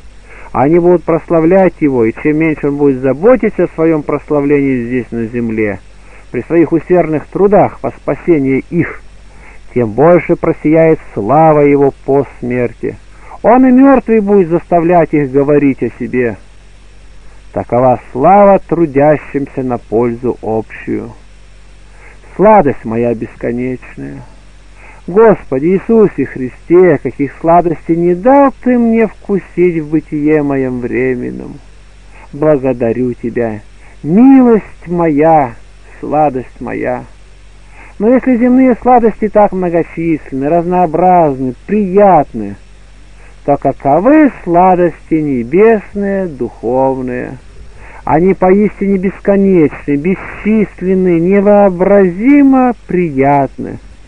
Не лиши же меня, многомилостивый, прещедрый Господи, и небесных Твоих сладостей, которые Ты уготовал любящим Тебя не лиши их и прочих людей твоих. Дай им всем познать Тебя, Господи, сладость нашу. Ведь Ты — это сладость наша повсюду и на земле, то есть Твое дело — всякая сладость. Впрочем, дай мне, Господи, благодушно переносить и скорби жизни. Они нужны для моей многострастной плоти, для моего ветхого человека, человеколюбче Научи переносить их благодушно и прочих людей твоих, и дай им познать нужду их. Скорби терпяще, в мире будете иметь скорби. Бог есть любовь, а я — образ Божий. Значит, и я должен быть весь любовь. Бог есть простейшее благо, чуждое всякой тени зла. Я — образ Божий значит, я должен быть также совершенно благим, без всякой тени даже зла. Если враг будет смущать тебя пищей или питьем, скажи ему, вот моя пища и питье, тело и кровь Господа нашего, они неотъемлемы от меня. Доколе я священник, я каждую неделю могу причащаться их и большей частью несколько раз в неделю, Кроме того, если я буду искать в себе Царствие Божие упованием на Него, Господа моего, то все земное для меня нужное приложится по Писанию. Ищите прежде Царствие Божие и правды Его, и все сие приложится вам. Верен Бог мой. Все для меня Бог. Эти слова вкоренились глубоко размышлением. Ничем не озлобляйся, побеждай все любовью. Всякие обиды, капризы, всякие неприятности семейные. Не знай ничего, кроме любви. Вини всегда искренно себя, признавая себя виновником неприятностей. Говори, я виноват, я грешен. Помни, что как ты немощен, так и ближний. А немощь за немощь уничтожается, и винить нечего немощных и грешных, если они признаются в своей немощи. Дьявола сильного возле надо винить. Столько заботится Отец Небесный обо мне, о моей жизни, о моем спасении, что Сына Своего Единородного не пожалел для меня и послал Его в мир на страдания и смерть, и питает меня Его плотью и кровью. Может ли же быть, чтобы Он не позаботился обо мне в менее важном, или лишил меня с моими присными достаточного пропитания? Это доселе не было, да и не будет. Ищите прежде Царствие Божие и правды Его, и все сие приложится вам. Вам же, у вас же и волосы на голове все сочтены, не бойтесь же. Жизнь моя, Господь бесконечный, сущий, вседержитель, я весь погружен в этой жизни. Тот, который над всеми и во всех и через всех в нас. Я всегда перед лицом Божьим и всегда в Боге, и Он во мне. На пищу ли и питье, на деньги ли, на человека ли я надеяться буду? Не слепец ли я буду тогда? Воистину, Бог моя надежда, Он все для меня. Помнить надо чаще слова Спасовую. Если не смиритесь и не будете как дети, не войдете в Царство Небесное. И апостола, как новорожденные младенцы, примите словесное молоко, возлюбите и возрастайте от него во спасение. Нелестное, необманчивое, непритворное, истинное. Особенно будь кроток и терпелив в болезни и в разных неблагоприятных обстоятельствах, ибо тогда мы особенно порываемся к раздражительности, изнеженные довольством, здоровьем, счастьем и покоем. Счастливые из нас те, которые ничего не имеют или мало имеют, потому что не связываются с купостью. Злобы, как огня, бойся. Ни из-за какого благовидного предлога, тем более из-за чего-либо тебе неприятного, не допускай ее в сердце. Злоба всегда есть злоба, всегда есть чаде дьявольское. Злоба приходит иногда в сердце под предлогом ревности о славе Божией или о благе ближних. Не верь. И ревности своей в этом случае. Она ложь или ревность не по разуму. Поревнуй о том, чтобы в тебе не было злобы. Бог ничем так не прославляется, как любовью все терпящую и ничем так не бесчествуется и не оскорбляется, как злобою, как бы она ни прикрывалась благовидно. Под маской попечения о нищих Иуда, скрывая злобу свою на Господа своего, предал его за тридцать сребреников. Помни, что враг неусыпно ищет твоей погибели и нападает на тебя тогда, когда ты менее всего ожидаешь его. Злоба его бесконечна. Не связывайся самолюбием и сластолюбием, да неудобно они пленят тебя. Бог не истощим для людей в дарах своих. Вот уже 7370 лет, писано в 1863 году, Он с избытком питает всех тварей. Везде видно довольство, радость. Только жадные богачи слишком много загребают в свои руки и удерживают в своих сокровищах дары Божии, которые могли бы продовольствовать с избытком сотни и тысячи бедных. Человек верует твердо в неистощимость Божию в дарах своих и раздробляя охотно алчущим хлеб твой. Чем больше будешь подавать, тем больше будет Бог посылать тебе. Таков Божий закон, мерой которой мерите отмерится тебе. Научись вспоминать и произносить имя Бог всегда с великой верою, благоговением, любовью и благодарным сердцем. Никогда не произноси его легкомысленно.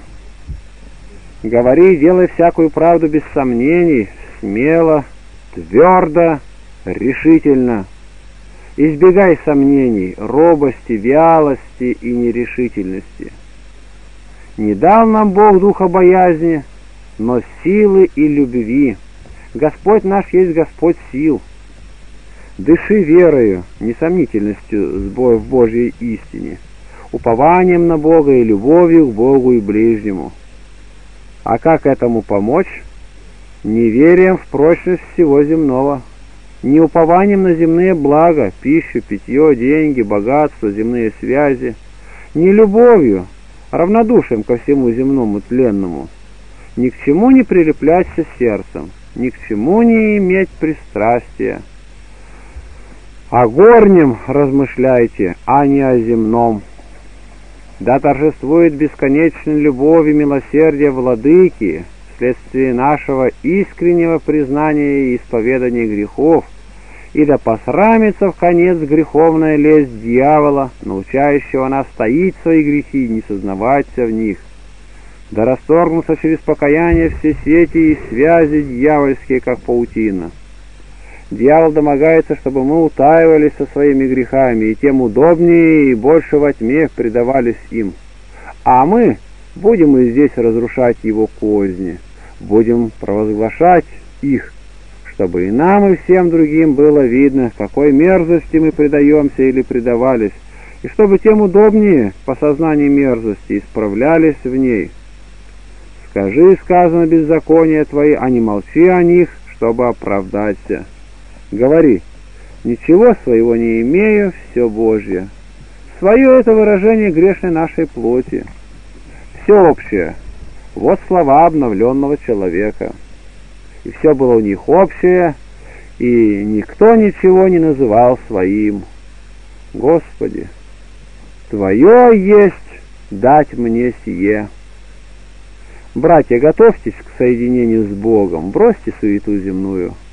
Займитесь великим делом самоочищения и самоусовершенствования. Возлюбите прогресс веры и добродетели, а не прогресс века сего. Мы приготовляемся на земле узреть художника всякой твари, видимой и невидимой, красоту всего. Воспитанникам. Вы дети мои, ибо я родил и рождаю вас благовествованием о Христе Иисусе. Духовная кровь моя, наставления мои текут в жилах ваших. Я напоил и пою вас, как бы из сосов мать, молоком словесным. Вы дети мои, потому что я имею вас всегда в сердце своем и молюсь за вас. Вы, дети мои, потому что вы духовные чада мои. Вы, дети мои, потому что я действительно как священник, отец, и вы называете меня батюшкой. Дети, это слово очень-очень не нравится дьяволу, виновнику нелюбви, злобы и лицемерия. Но я, Богу помогающему, ни на минуту не повинуюсь ему, дьяволу, и буду не иначе называть вас, как детьми, ибо вы действительно дети и по самому существу природы, и по принимаемым с меня наставлениям и отеческому руководству.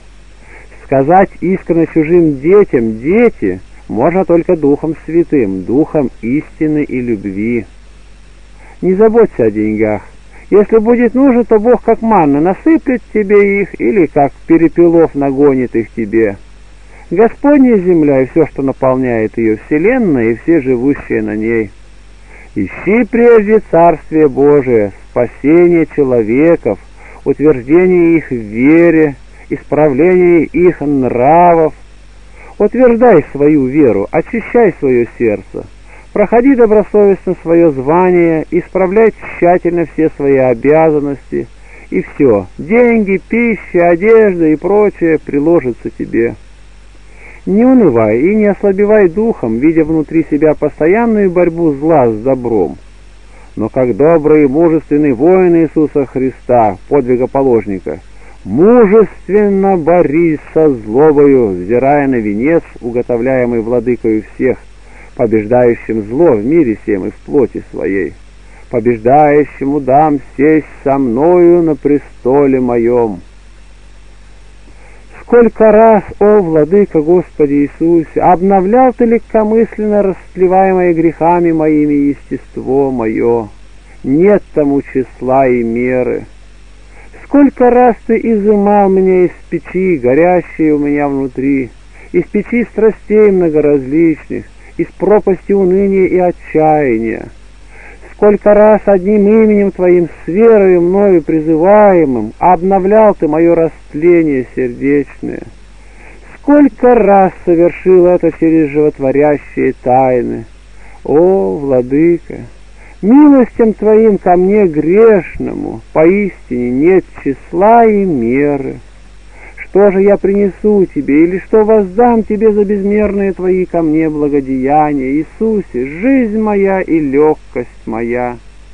Да буду я осмотрителен в путях моих по благодати твоей, ибо тебе приятны все осмотрительные в пути, как ты духом своим устами отца нашего Давида сказал, Псалом 118, 2, 17, 21. Постараюсь быть верным тебе, смиренным, кротким, нераздражительным, незлобивым, долготерпеливым, трудолюбивым, милостивым, щедрым, нелюбостяжательным, послушным.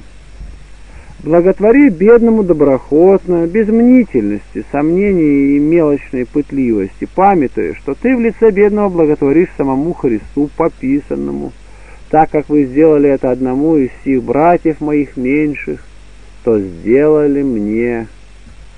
Знай, что милостыня твоя всегда ничтожна в сравнении с человеком, этим чадом Божьим. Знай, что твоя милостыня есть земля и прах. Знай, что священная милостыня непременно должна об руку следовать духовная, ласковая, братская, с чистосердечной любовью обращение с ближним. Не давай ему заметить, что ты одолжаешь его, не покажи гордого вида, подавай, сказано, в простоте, милое с добрым изволением. Смотри же, не отнимай цены у своей милостыни вещественной через неоказание духовной. Знай, что владыка на суде и добрые дела твои испытывает. Милостыня хороша и спасительна, когда соединяется с исправлением сердца от гордости, злобы, зависти, праздности, лености, чревоугодия, блуда, лжи и обмана и прочих грехов. А если человек не заботится об исправлении сердца своего, надеясь на свою милостыню, то он мало получит пользы от ней, ибо что одной рукой созидает, то другой разрушает.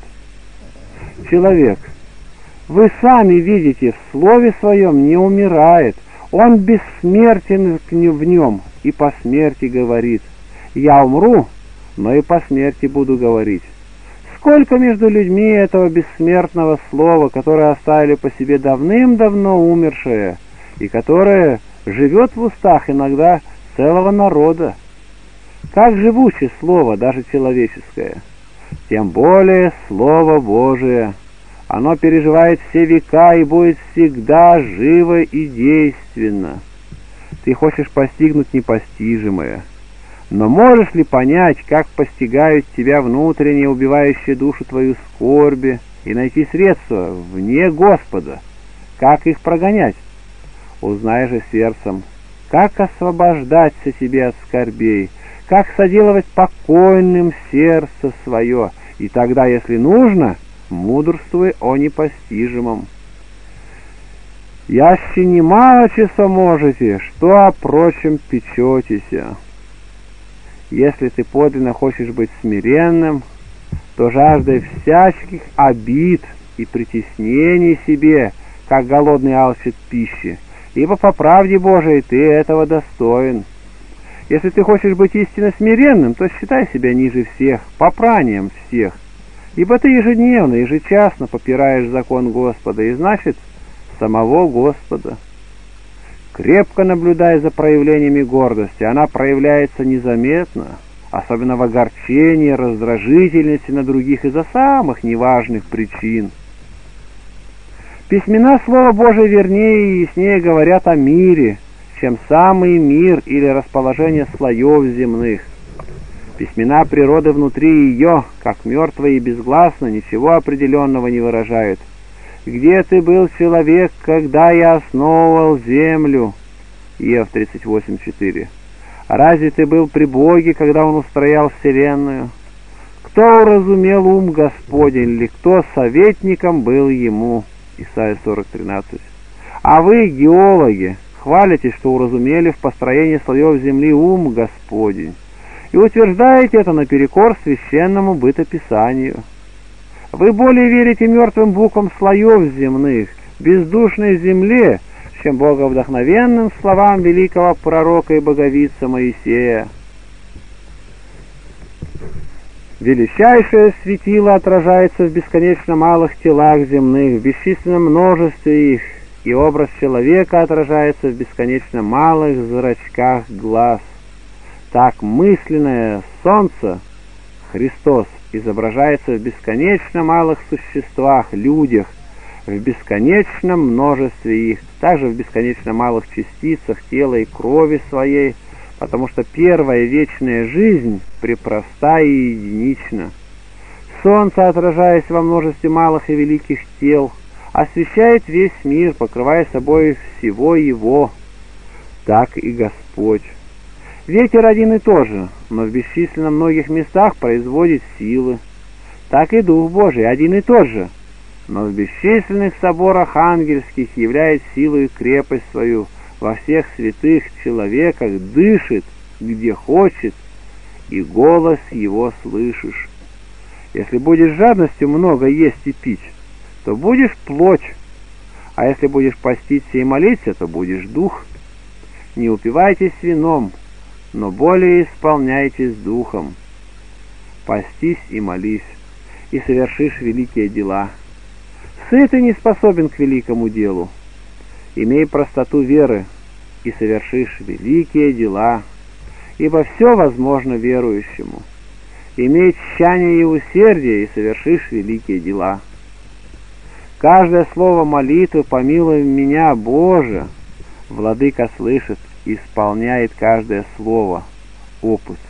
Только бы о сердце говорили, так и все слова других молитв, даже наши собственные искренние молитвы. О, благопослушный владыка, слава тебе! Просите и дастся вам, ищите и найдете, стучите и отворят вам, ибо всякий просящий получает — только в простоте сердца, без сомнения, молитесь. Терпи с благопокорностью воли Божией всякую скорбь, всякую болезнь и немощь, всякий труд, всякую обиду и неприятность, говоря, «Да будет воля Твоя», и зная, что благость Божия ведет все к лучшему для тебя, и что всякую неприятность Господь удобно может притворить в счастье и радость. При исповеди не жалей себя, не торопись, не горячись, не озлобляйся на приходящих детей. Говори себе, это мое удовольствие подробно исповедовать моих духовных детей, овец Господа моего. Этим я приношу приятнейшую жертву Господу моему, положившему за нас душу свою, и приношу великую пользу самим духовным чадам, да и себе, потому что добровольно исполняю свое важное дело и имею спокойную совесть и время течет, не останавливаясь. И тело мое при жизни еще постоянно меняется и приходит, и мир весь, как видно по его движению, тоже приходит, и как будто поспешает к предположенному концу своему, как заведенная машина. Где же постоянное? Постоянное то, что все это движет и заправляет к своим целям, направляет к своим целям. Постоянное Первая причина всего сложного и сотворенного, которая сама не сложная и потому неприходящая, вечна. Постоянно еще созданы по образу первой вины духи ангелов и человеков. Все остальное — мыльный пузырь. Не унижаю этими словами творения, но говорю так о нем сравнительно с Творцом и с блаженными духами. Владычица Богородица, Ты Кое любовь к христианам превосходит любовь всякой матери земной, всякой жены. Внемли нам в молитвах наших и спаси нас. Да памятуем мы о Тебе постоянно, да молимся Тебе всегда усердно, да прибегаем всегда под кров Твой, неленостно и без сомнения. Как в Иисусе Христе обитает вся полнота божества телесно, так и в животворящих тайнах тела и крови Его.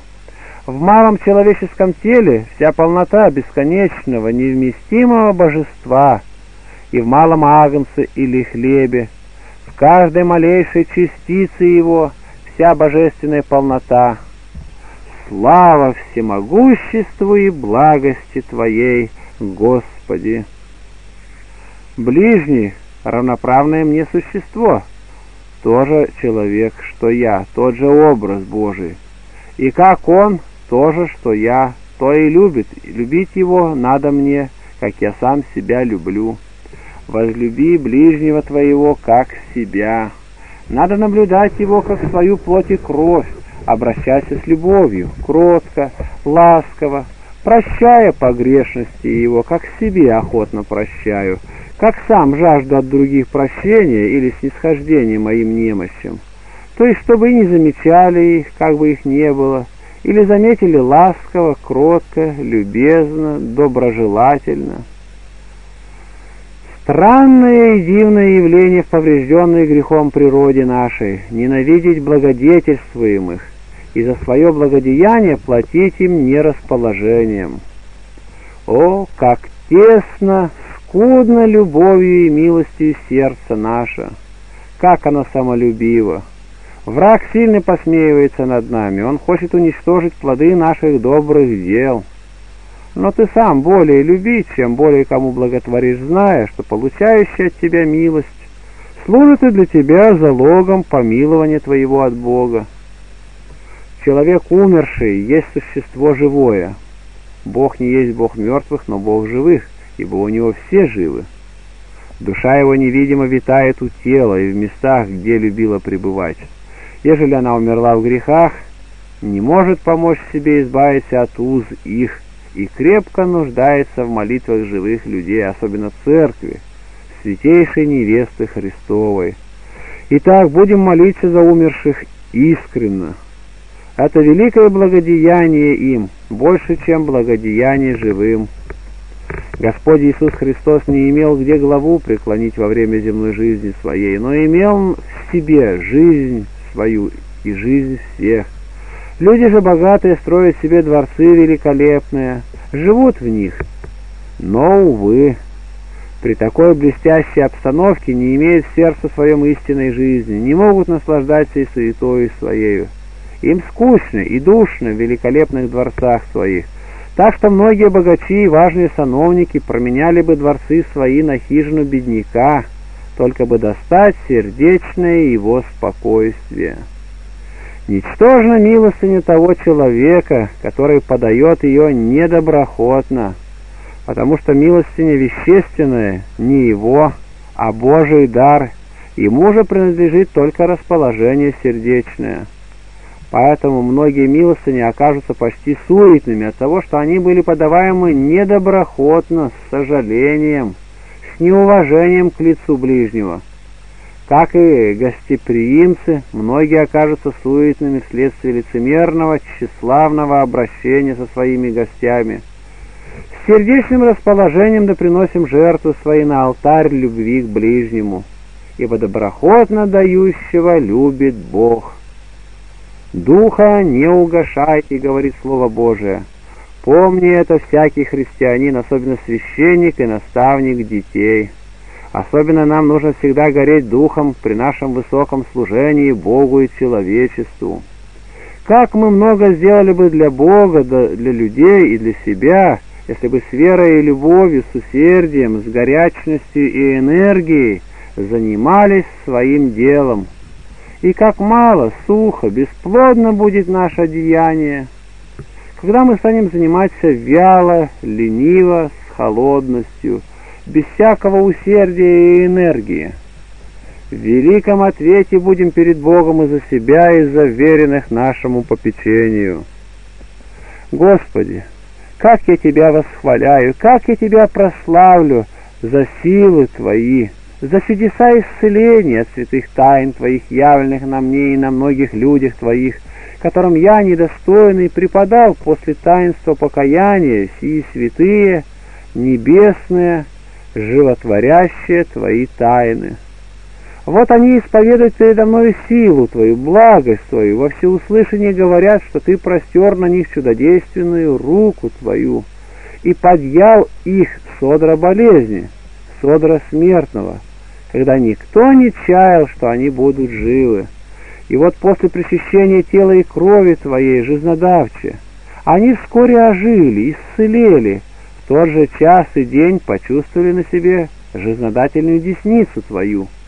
А я, Господи, очевидец дел Твоих, не прославил Тебя доселе во всеуслышание, к утверждению веры людей Твоих, и не знаю, как и когда прославить Тебя, ибо всякий день занят я какими-либо делами. Ты сам сотвори себе имя, Господи, как Ты сотворил. Сам прославь имя Твое, тайны Твои. Что я принесу Тебе, Господи, за все благие Твоя, которые непрестанно меня Ты ущедряешь ими, единую веру мою, ибо дел не имею, оправдывающих меня. Ибо ничто, ничего доброго я не сотворил пред Тобою, но и вера моя есть Твой же дар.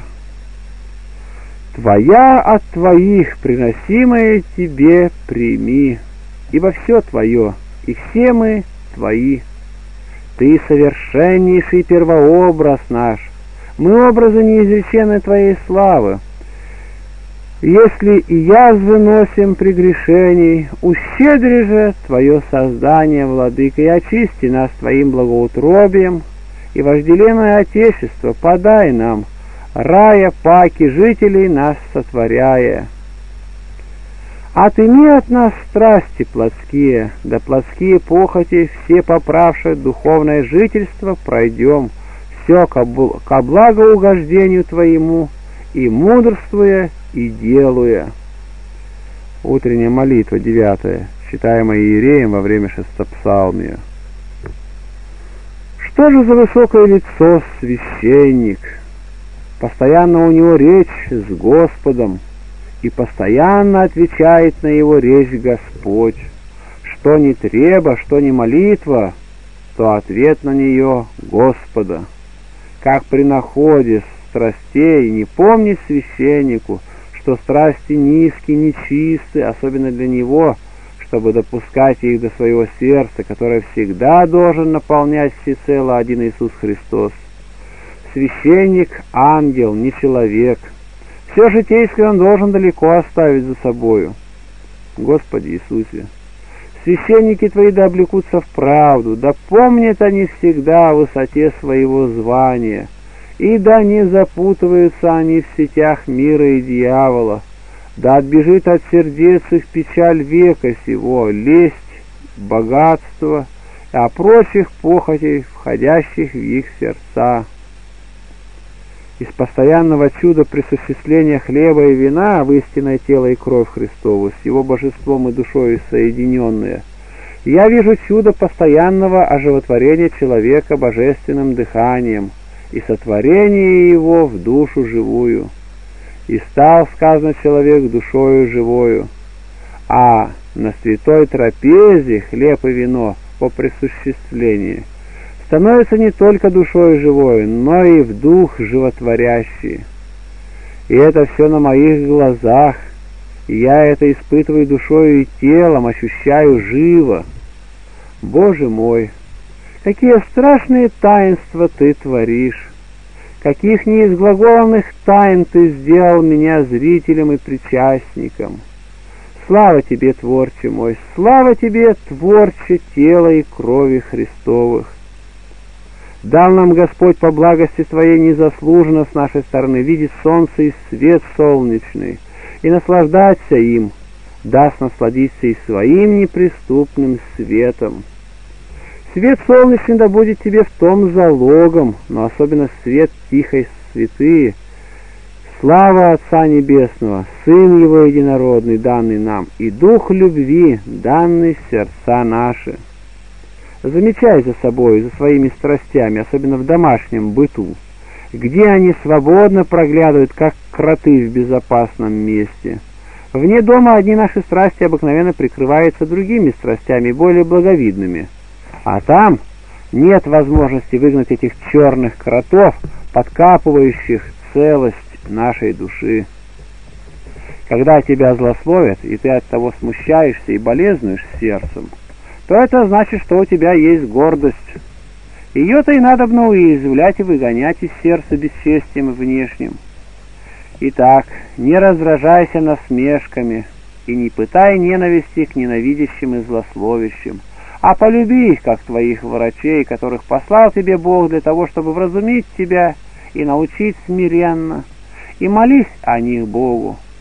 Благословляйте проклинающих вас. Говори, они не меня злословят, а мою страсть. Не меня бьют, а вот эту змейку, которая гнездится в моем сердце, и сказывается больно в нем при нанесении злословия утешаясь мыслью, что, быть может, добрые люди выбьют ее оттуда своими колкостями, и не будет тогда болеть оно. Благодари же Бога за внешнее бесчестие. Потерпевший бесчестие здесь не подвергнется ему в том веке. «Прият сугубо грехи своя» Исайя 42. «Твой мир дай нам, вся бы воздал еси нам» Исайя 26:12. Когда видишь в ближе недостатки и страсти, молись о нем. Молись о каждом, даже о враге своем. Если видишь брата гордого и строптивого, горделиво с тобой или с другими обращающегося, молись о нем, чтобы Бог просветил его ум и согрел его сердце огнем благодати своей.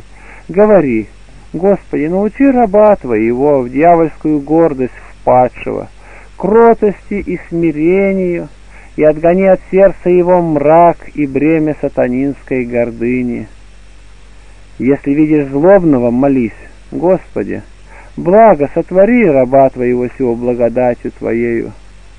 Если сребролюбивого и жадного, говори, сокровище наше нетленное и богатство неистощимое — Даруй рабу твоему этому, сотворенному по образу и подобию твоему, познать лесть богатства, и, яко вся земная суета, сень и сновидение, как трава дни всякого человека, или как паутина, и как ты един богатство, покой и радость наша. Когда видишь завистливо, молись, Господи, просвети умы сердца раба Твоего сего в познании великих, бесчисленных и неисследимых даров Твоих, которые Ты принял от не... я принял от неисчетных щедрот Твоих, в ослеплении же страсти своей забыл Тебя и дары Твои богатые, и нищим себя вменил быть, будучи богатым благами Твоими.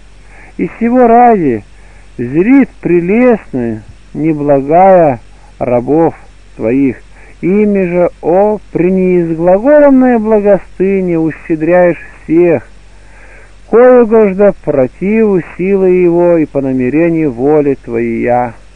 Отыми, всеблагий владыка, покрывала дьявола от очей сердца раба твоего, и даруй ему сердечное сокрушение и слезы покаяния и благодарения — да не возрадуется враг о нем, заживо уловленным от него в свою его волю, и да не отторгнет его от руки твоей. Когда видишь пьяного, говори сердцем, Господи, призри милостиво на раба твоего, прельщенного лестью чрева и плотского веселья. Даруй ему познать сладость воздержания и поста, и проистекающих от него плодов духа. Когда видишь страстного к брашным, и блаженство свое в них полагающего, говори, Господи, сладчайшая брашна наша, никогда же погибающая, но пребывающая в жизнь вечную. Очисти раба Твоего сего скверны чрева объедения, всего плоть сотворившего и чуждого духа Твоего, и даруй ему познать сладость Твоего животворящего духовного брашна, которая есть плоть и кровь Твоя, и святое, и живое, и действенное Слово Твое. Так или подобным образом молись о всех согрешающих, и не дерзай никого презирать за грех его или мстить ему, ибо этим увеличились бы только язвы согрешающих. Исправляй советами, угрозами и наказаниями, которые служили бы средством к прекращению или удержанию зла в границах умеренности. Родители и воспитатели, остерегайте детей своих со всею заботливостью от капризов перед вами, иначе дети скоро забудут цену вашей любви, заразят свое сердце злобою, рано потеряют святую, искреннюю, горячую любовь сердца, а по достижении совершенного возраста горько будут жаловаться на то, что в юности слишком много лелеяли их, потворствовали капризам их сердца. Каприз — зародыш сердечной порчи, ржа сердца, моль любви, семя злобы, мерзость Господу. Когда видите болезненное разрушение тела, не ропщите на Господа, говорите, Господь дал, Господь и взял. Да будет имя Господне благословенно. Вы привыкли смотреть на тело свое как на неотъемлемую собственность, но это крайне несправедливо, потому что ваше тело Божие здание. Или не знаете себя, что Иисус Христос в вас, если только, только разве вы есть не то, чем должны быть? Воистину Христос во мне живет. Между тем я до сих пор был неискусен, не помышлял и не знал твердо, что Господь во мне. Это Он, Всесвятой, так чуток во мне к малейшей нечистоте сердечной. Это он побуждает меня самый зародыш греха в сердце гнать вон из души. Но, увы, и сатана тут же готовый пожрать меня на каждом шагу, оспаривает меня у Господа. Все мои беды происходят в невидимой моей мысли и в невидимом сердце моем, потому что невидимый же нужен мне и Спаситель, ведущий, ведущий сердца наши. О, крепость моя, Иисусе, Сыне Божий! О, свет ума моего, мир, радость, широта сердца моего! Слава Тебе! Слава Тебе, Избавителю от невидимых врагов моих, ратующих ум и сердце мое и убивающих меня в самом источнике моей жизни, в самом чувствительном моем месте.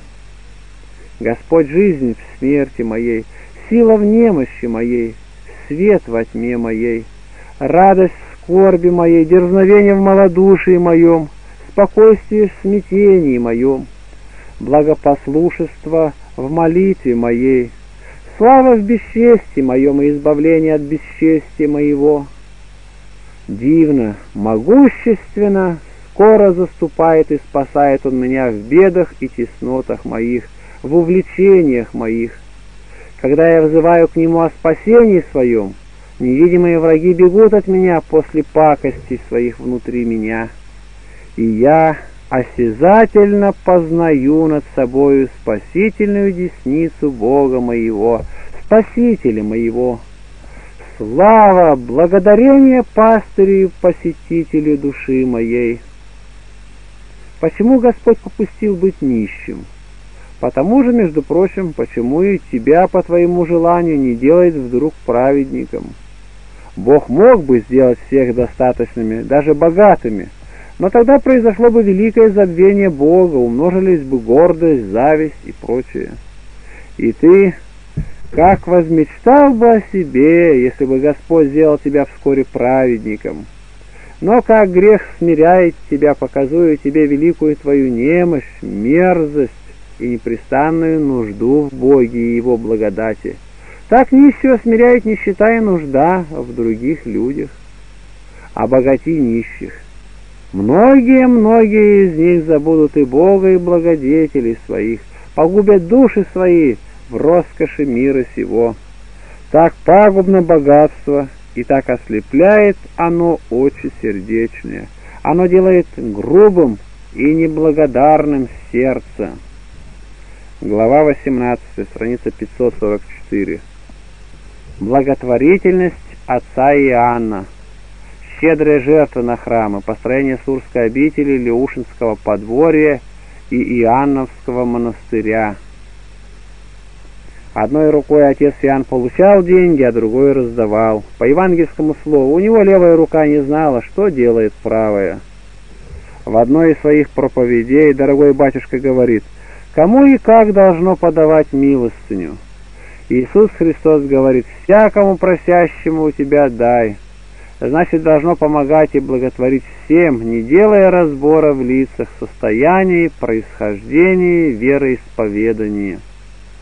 Каждому истинно нуждающемуся должно оказывать милость, ибо все они одинаково имеют право на сожаление и также смотрят на руки наши, как мы на руки Божии, когда чего просим, и гораздо лучше простирать руку и недостойным, нежели из опасения встретиться с недостойными, лишить благодеяния и достойных. Один кронштадтский лавочник рассказывает, как покойный отец Иоанн научил его любить бедных – Отец Ян заходил к этому лавочнику менять 15-20 рублей. Лавочник тяготился этим и внутренне досадовал на отца Иоанна и на нищих. Однажды, меняя деньги, он особенно сильно досадовал, однако не показывая этого. Прозорливый старец понял, что делается в душе торговца. Как-то странно на него посмотрел и перестал ходить к нему в лавку. После этого торговля у лавочника пошла хуже и хуже. Лавочник встревожился, стал думать, вспоминать, и дело кончилось тем, что он, явившись к отцу Иоанну, поклонился ему в ноги и покаялся в грехе. Отец Иоанн растолковал лавочнику, что Бог гневается на тех, кто бедняков обижает. После этого отец Иоанн снова стал менять деньги у лавочника. Вместе с тем торговля у него исправилась. Любовь христианская, истинная по апостолу, все покрывает. Всему верит, все, всего надеется, все терпит, любовь никогда не перестает. Вот одно из многочисленнейших дел такой христианской любви отца Иоанна, записано его жизнеописателем. Едва он возвратился из храма в свою скромную квартиру, как услышал в прихожей шум и громкий разговор. Не снимая верхней одежды, отец Иоанн вернулся в прихожую. Оказалось, что какая-то женщина с рыданиями просит пустить ее к батюшке. «Пусть подождет», — говорит отцу Иоанну жена, — «ведь ты пяти часов утра на ногах, голодный, измученный, пообедай, отдохни». «Погоди, я спрошу, чего она хочет?» Увидав батюшку, женщина бросилась ему в ноги. «Спаси нас, отец!» — молила она. «У меня муж умирает, шестеро детей, второй день не ели, я сама едва хожу. Одна надежда на тебя». «Пойдем к тебе», — ласково отвечал отец Ян, подымая женщину. «Господь тебе поможет». И отец Ян, совершенно забывая об обеде и усталости, вышел из дома вместе с женщиной. «На, вот тебе двадцать копеек. Зайди в лавку, купи хлеба и яиц. Больше у меня нет». Придя к женщине, отец Ян действительно застал картину страшной нищеты. Умирающий смотрел безжизненно остановившимися глазами, и не шевелился. Дети стонали от голода. Когда хлеб и яйца были съедены, отец Ян сам помог женщине убрать ее темную подвальную коморку. Привел несколько в порядок детей и затем, опустившись на колени перед крошечным образком, висевшим в углу, начал громко молиться. На другой день женщина по указанию отца Иоанна ожидала его на паперте. Увидев его в толпе, ее, он достал из кармана несколько конвертов, только что им полученных в нескольких богатых домах, и передал женщине. Впоследствии больной муж этой женщины, оправившись от болезни, так разбогател, что мог жертвовать тысячи на дела благотворительности. Долгое время страдало сердце кронштадтского пастыря при виде множества кронштадтского бедного люда — и вот, наконец, эта мука сердечная выразилась в горячем призыве отца Иоанна ко всем нищелюбцам и христолюбцам. Прийти на помощь кронштадтской бедноте, но не случайными подачками, а так, чтобы дать полную возможность всякой погибающей в праздности и бедности душе человеческой, самой с честью и достоинством встать на ноги путем труда. Вот учреждение Дома трудолюбия. Пенько-щипная, в которой работает в течение года до 20 тысяч человек.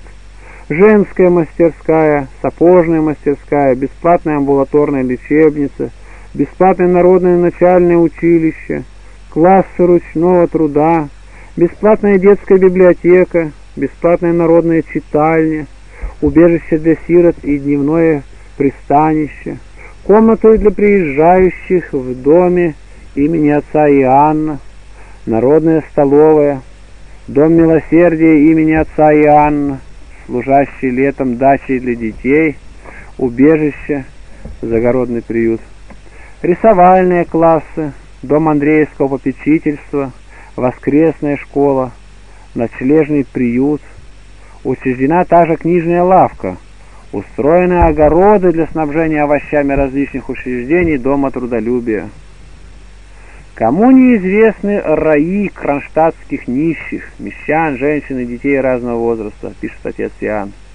Кто не видал и того, что между нищими мещанами есть много людей молодых и здоровых, представляющих из себя весьма жалкую фигуру по своей крайне грязной и изорванной одежде, трясущихся у преддверия храмов или у лавок и заборов в ожидании подаяния от какого-либо благодетеля.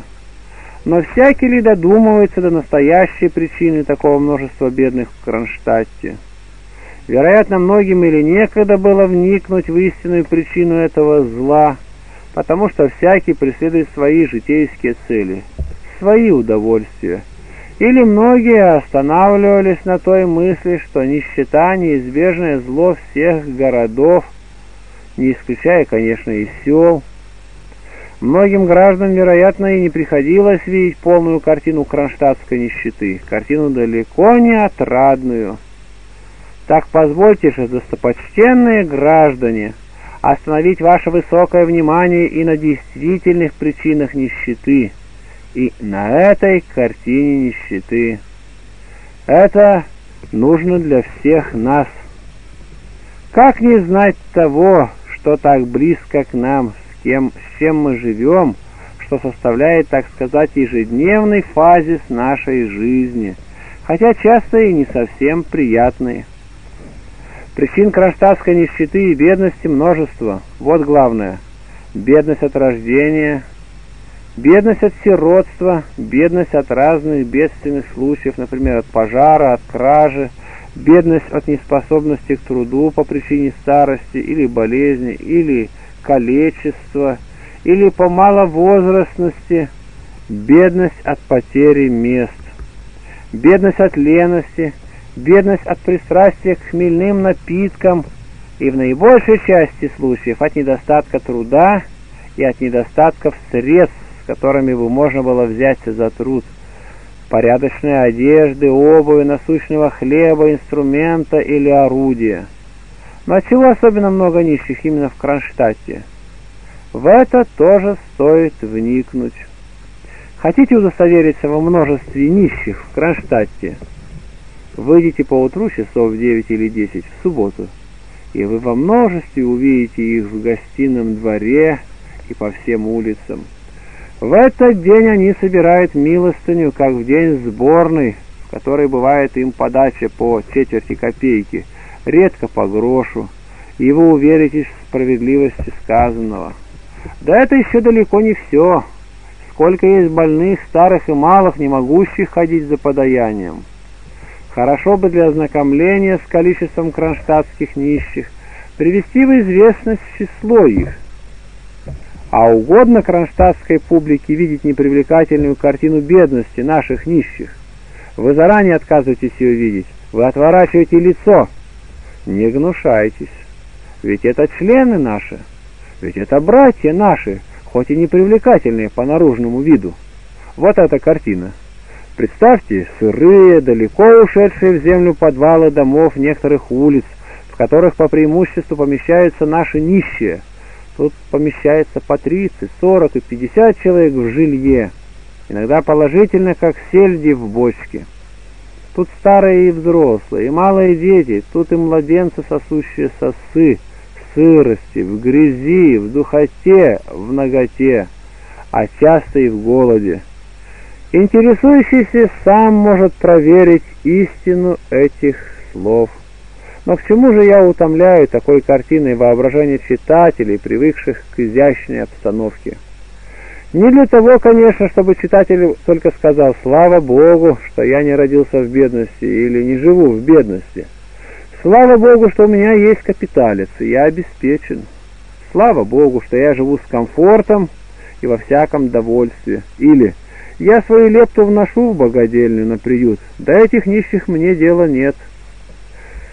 Нет, господа, это дело касается до всех жителей города, как живущих на жаловании, так и купцов, мещан и прочих, имеющих какое-либо состояние. В чем же дело, спрашиваете вы?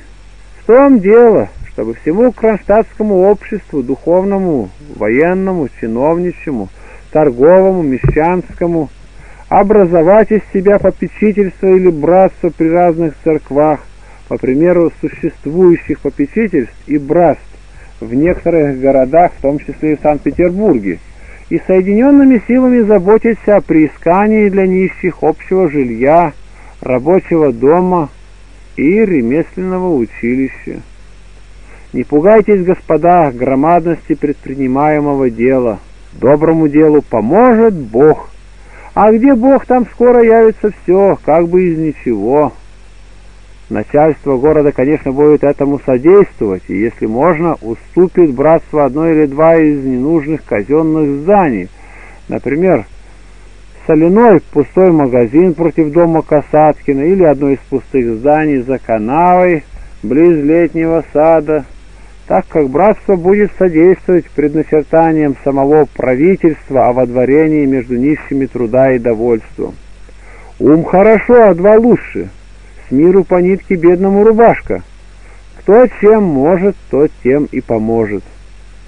Если народу угодно было принять к себе такое множество нищих мещан, то он, конечно, должен взять на себя и обязанность занять чем-либо этих праздных людей, сделать их оседлыми, иначе выйдет и возрастет неизбежное зло, воровство и грабительство — и мирные граждане не будут безопасны везде и всегда. Пора сделать что-либо решительное относительно кронштадтских мещан, или устроить для них рабочий дом, и для детей ремесленную школу, или же, как крайнюю меру, выпроводить часть их куда-нибудь в другое место. Итак, братья, все, кого интересует благо человечества, пусть соберутся и сплотятся в дружеское общество, и будем посвящать свои досуги и собирать нравственные и материальные силы сограждан на приискание дома трудящихся и на снабжение его потребными вещами, также на и устройство ремесленного училища. Вот второе воззвание глубоко уважаемого пастыря по тому же поводу – Муравьи делают муравейники, в которых им бывает и зимой и тепло, и сытно.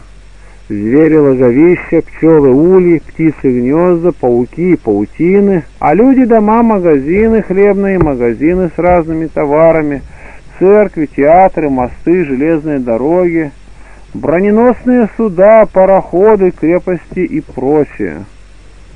Всякому животному дано от Бога, вложено в природу его умение довольствовать себя, защищать себя от вредного действия стихии или от живых неприятелей. А человек – существо богоподобное в нравственном идеале, царя видимой твари. Бог наделил разумом, с помощью которого он изобрел разные полезные науки и искусства. И так как человек создан для общежития, и все множество людей должно по намерению Божию составлять одно тело, а порознь члены, то для благоденствия и довольства, для удовлетворения многочисленных нужд человечества или обществ человеческих, премудрость Божия и наука от Бога данные сообщила человеку каждому, кроме общих, особенные таланты или способности и умения, иному власть, искусство, силу управлять людьми, другому искусство и власть учить и назидать других – иному сочинять, составлять планы и проекты, а другим приводить их в исполнение, иному искусство нападать на неприятеля или защищаться от него. Тому умение вести торговлю, этому производить заводское или фабричное мастерство. Иному дан талант ковать или отливать, другому владеть долотом, топором и пилою, иному шить сапоги, а другому умение шить одежду, иному прясть, ткать или вязать, иному варить и печь. Что касается кронштадтского общества, то оно так населено и разбросано, что в нем, по милости Божией, есть люди всякого рода, всякого дела, всякого умения или искусства, и люди власти капитала, по желанию и инициативе которых могут делаться всякие добрые дела. Есть у нас инженеры-архитекторы, и лесовщики, и плотники, и столяры, и печники, и кровельщики, и кузнецы, и литейщики, и портные – и сапожники, и пекари, и кухмистеры. Но рука руку моет, и палец палец. Сильные должны носить немощи бессильных. При таком богатом разнообразии сил нашего общества, при такой его талантливости, при таком множестве людей и образованных, и дельных, и искусных, и состоянием, хотя и не громадным,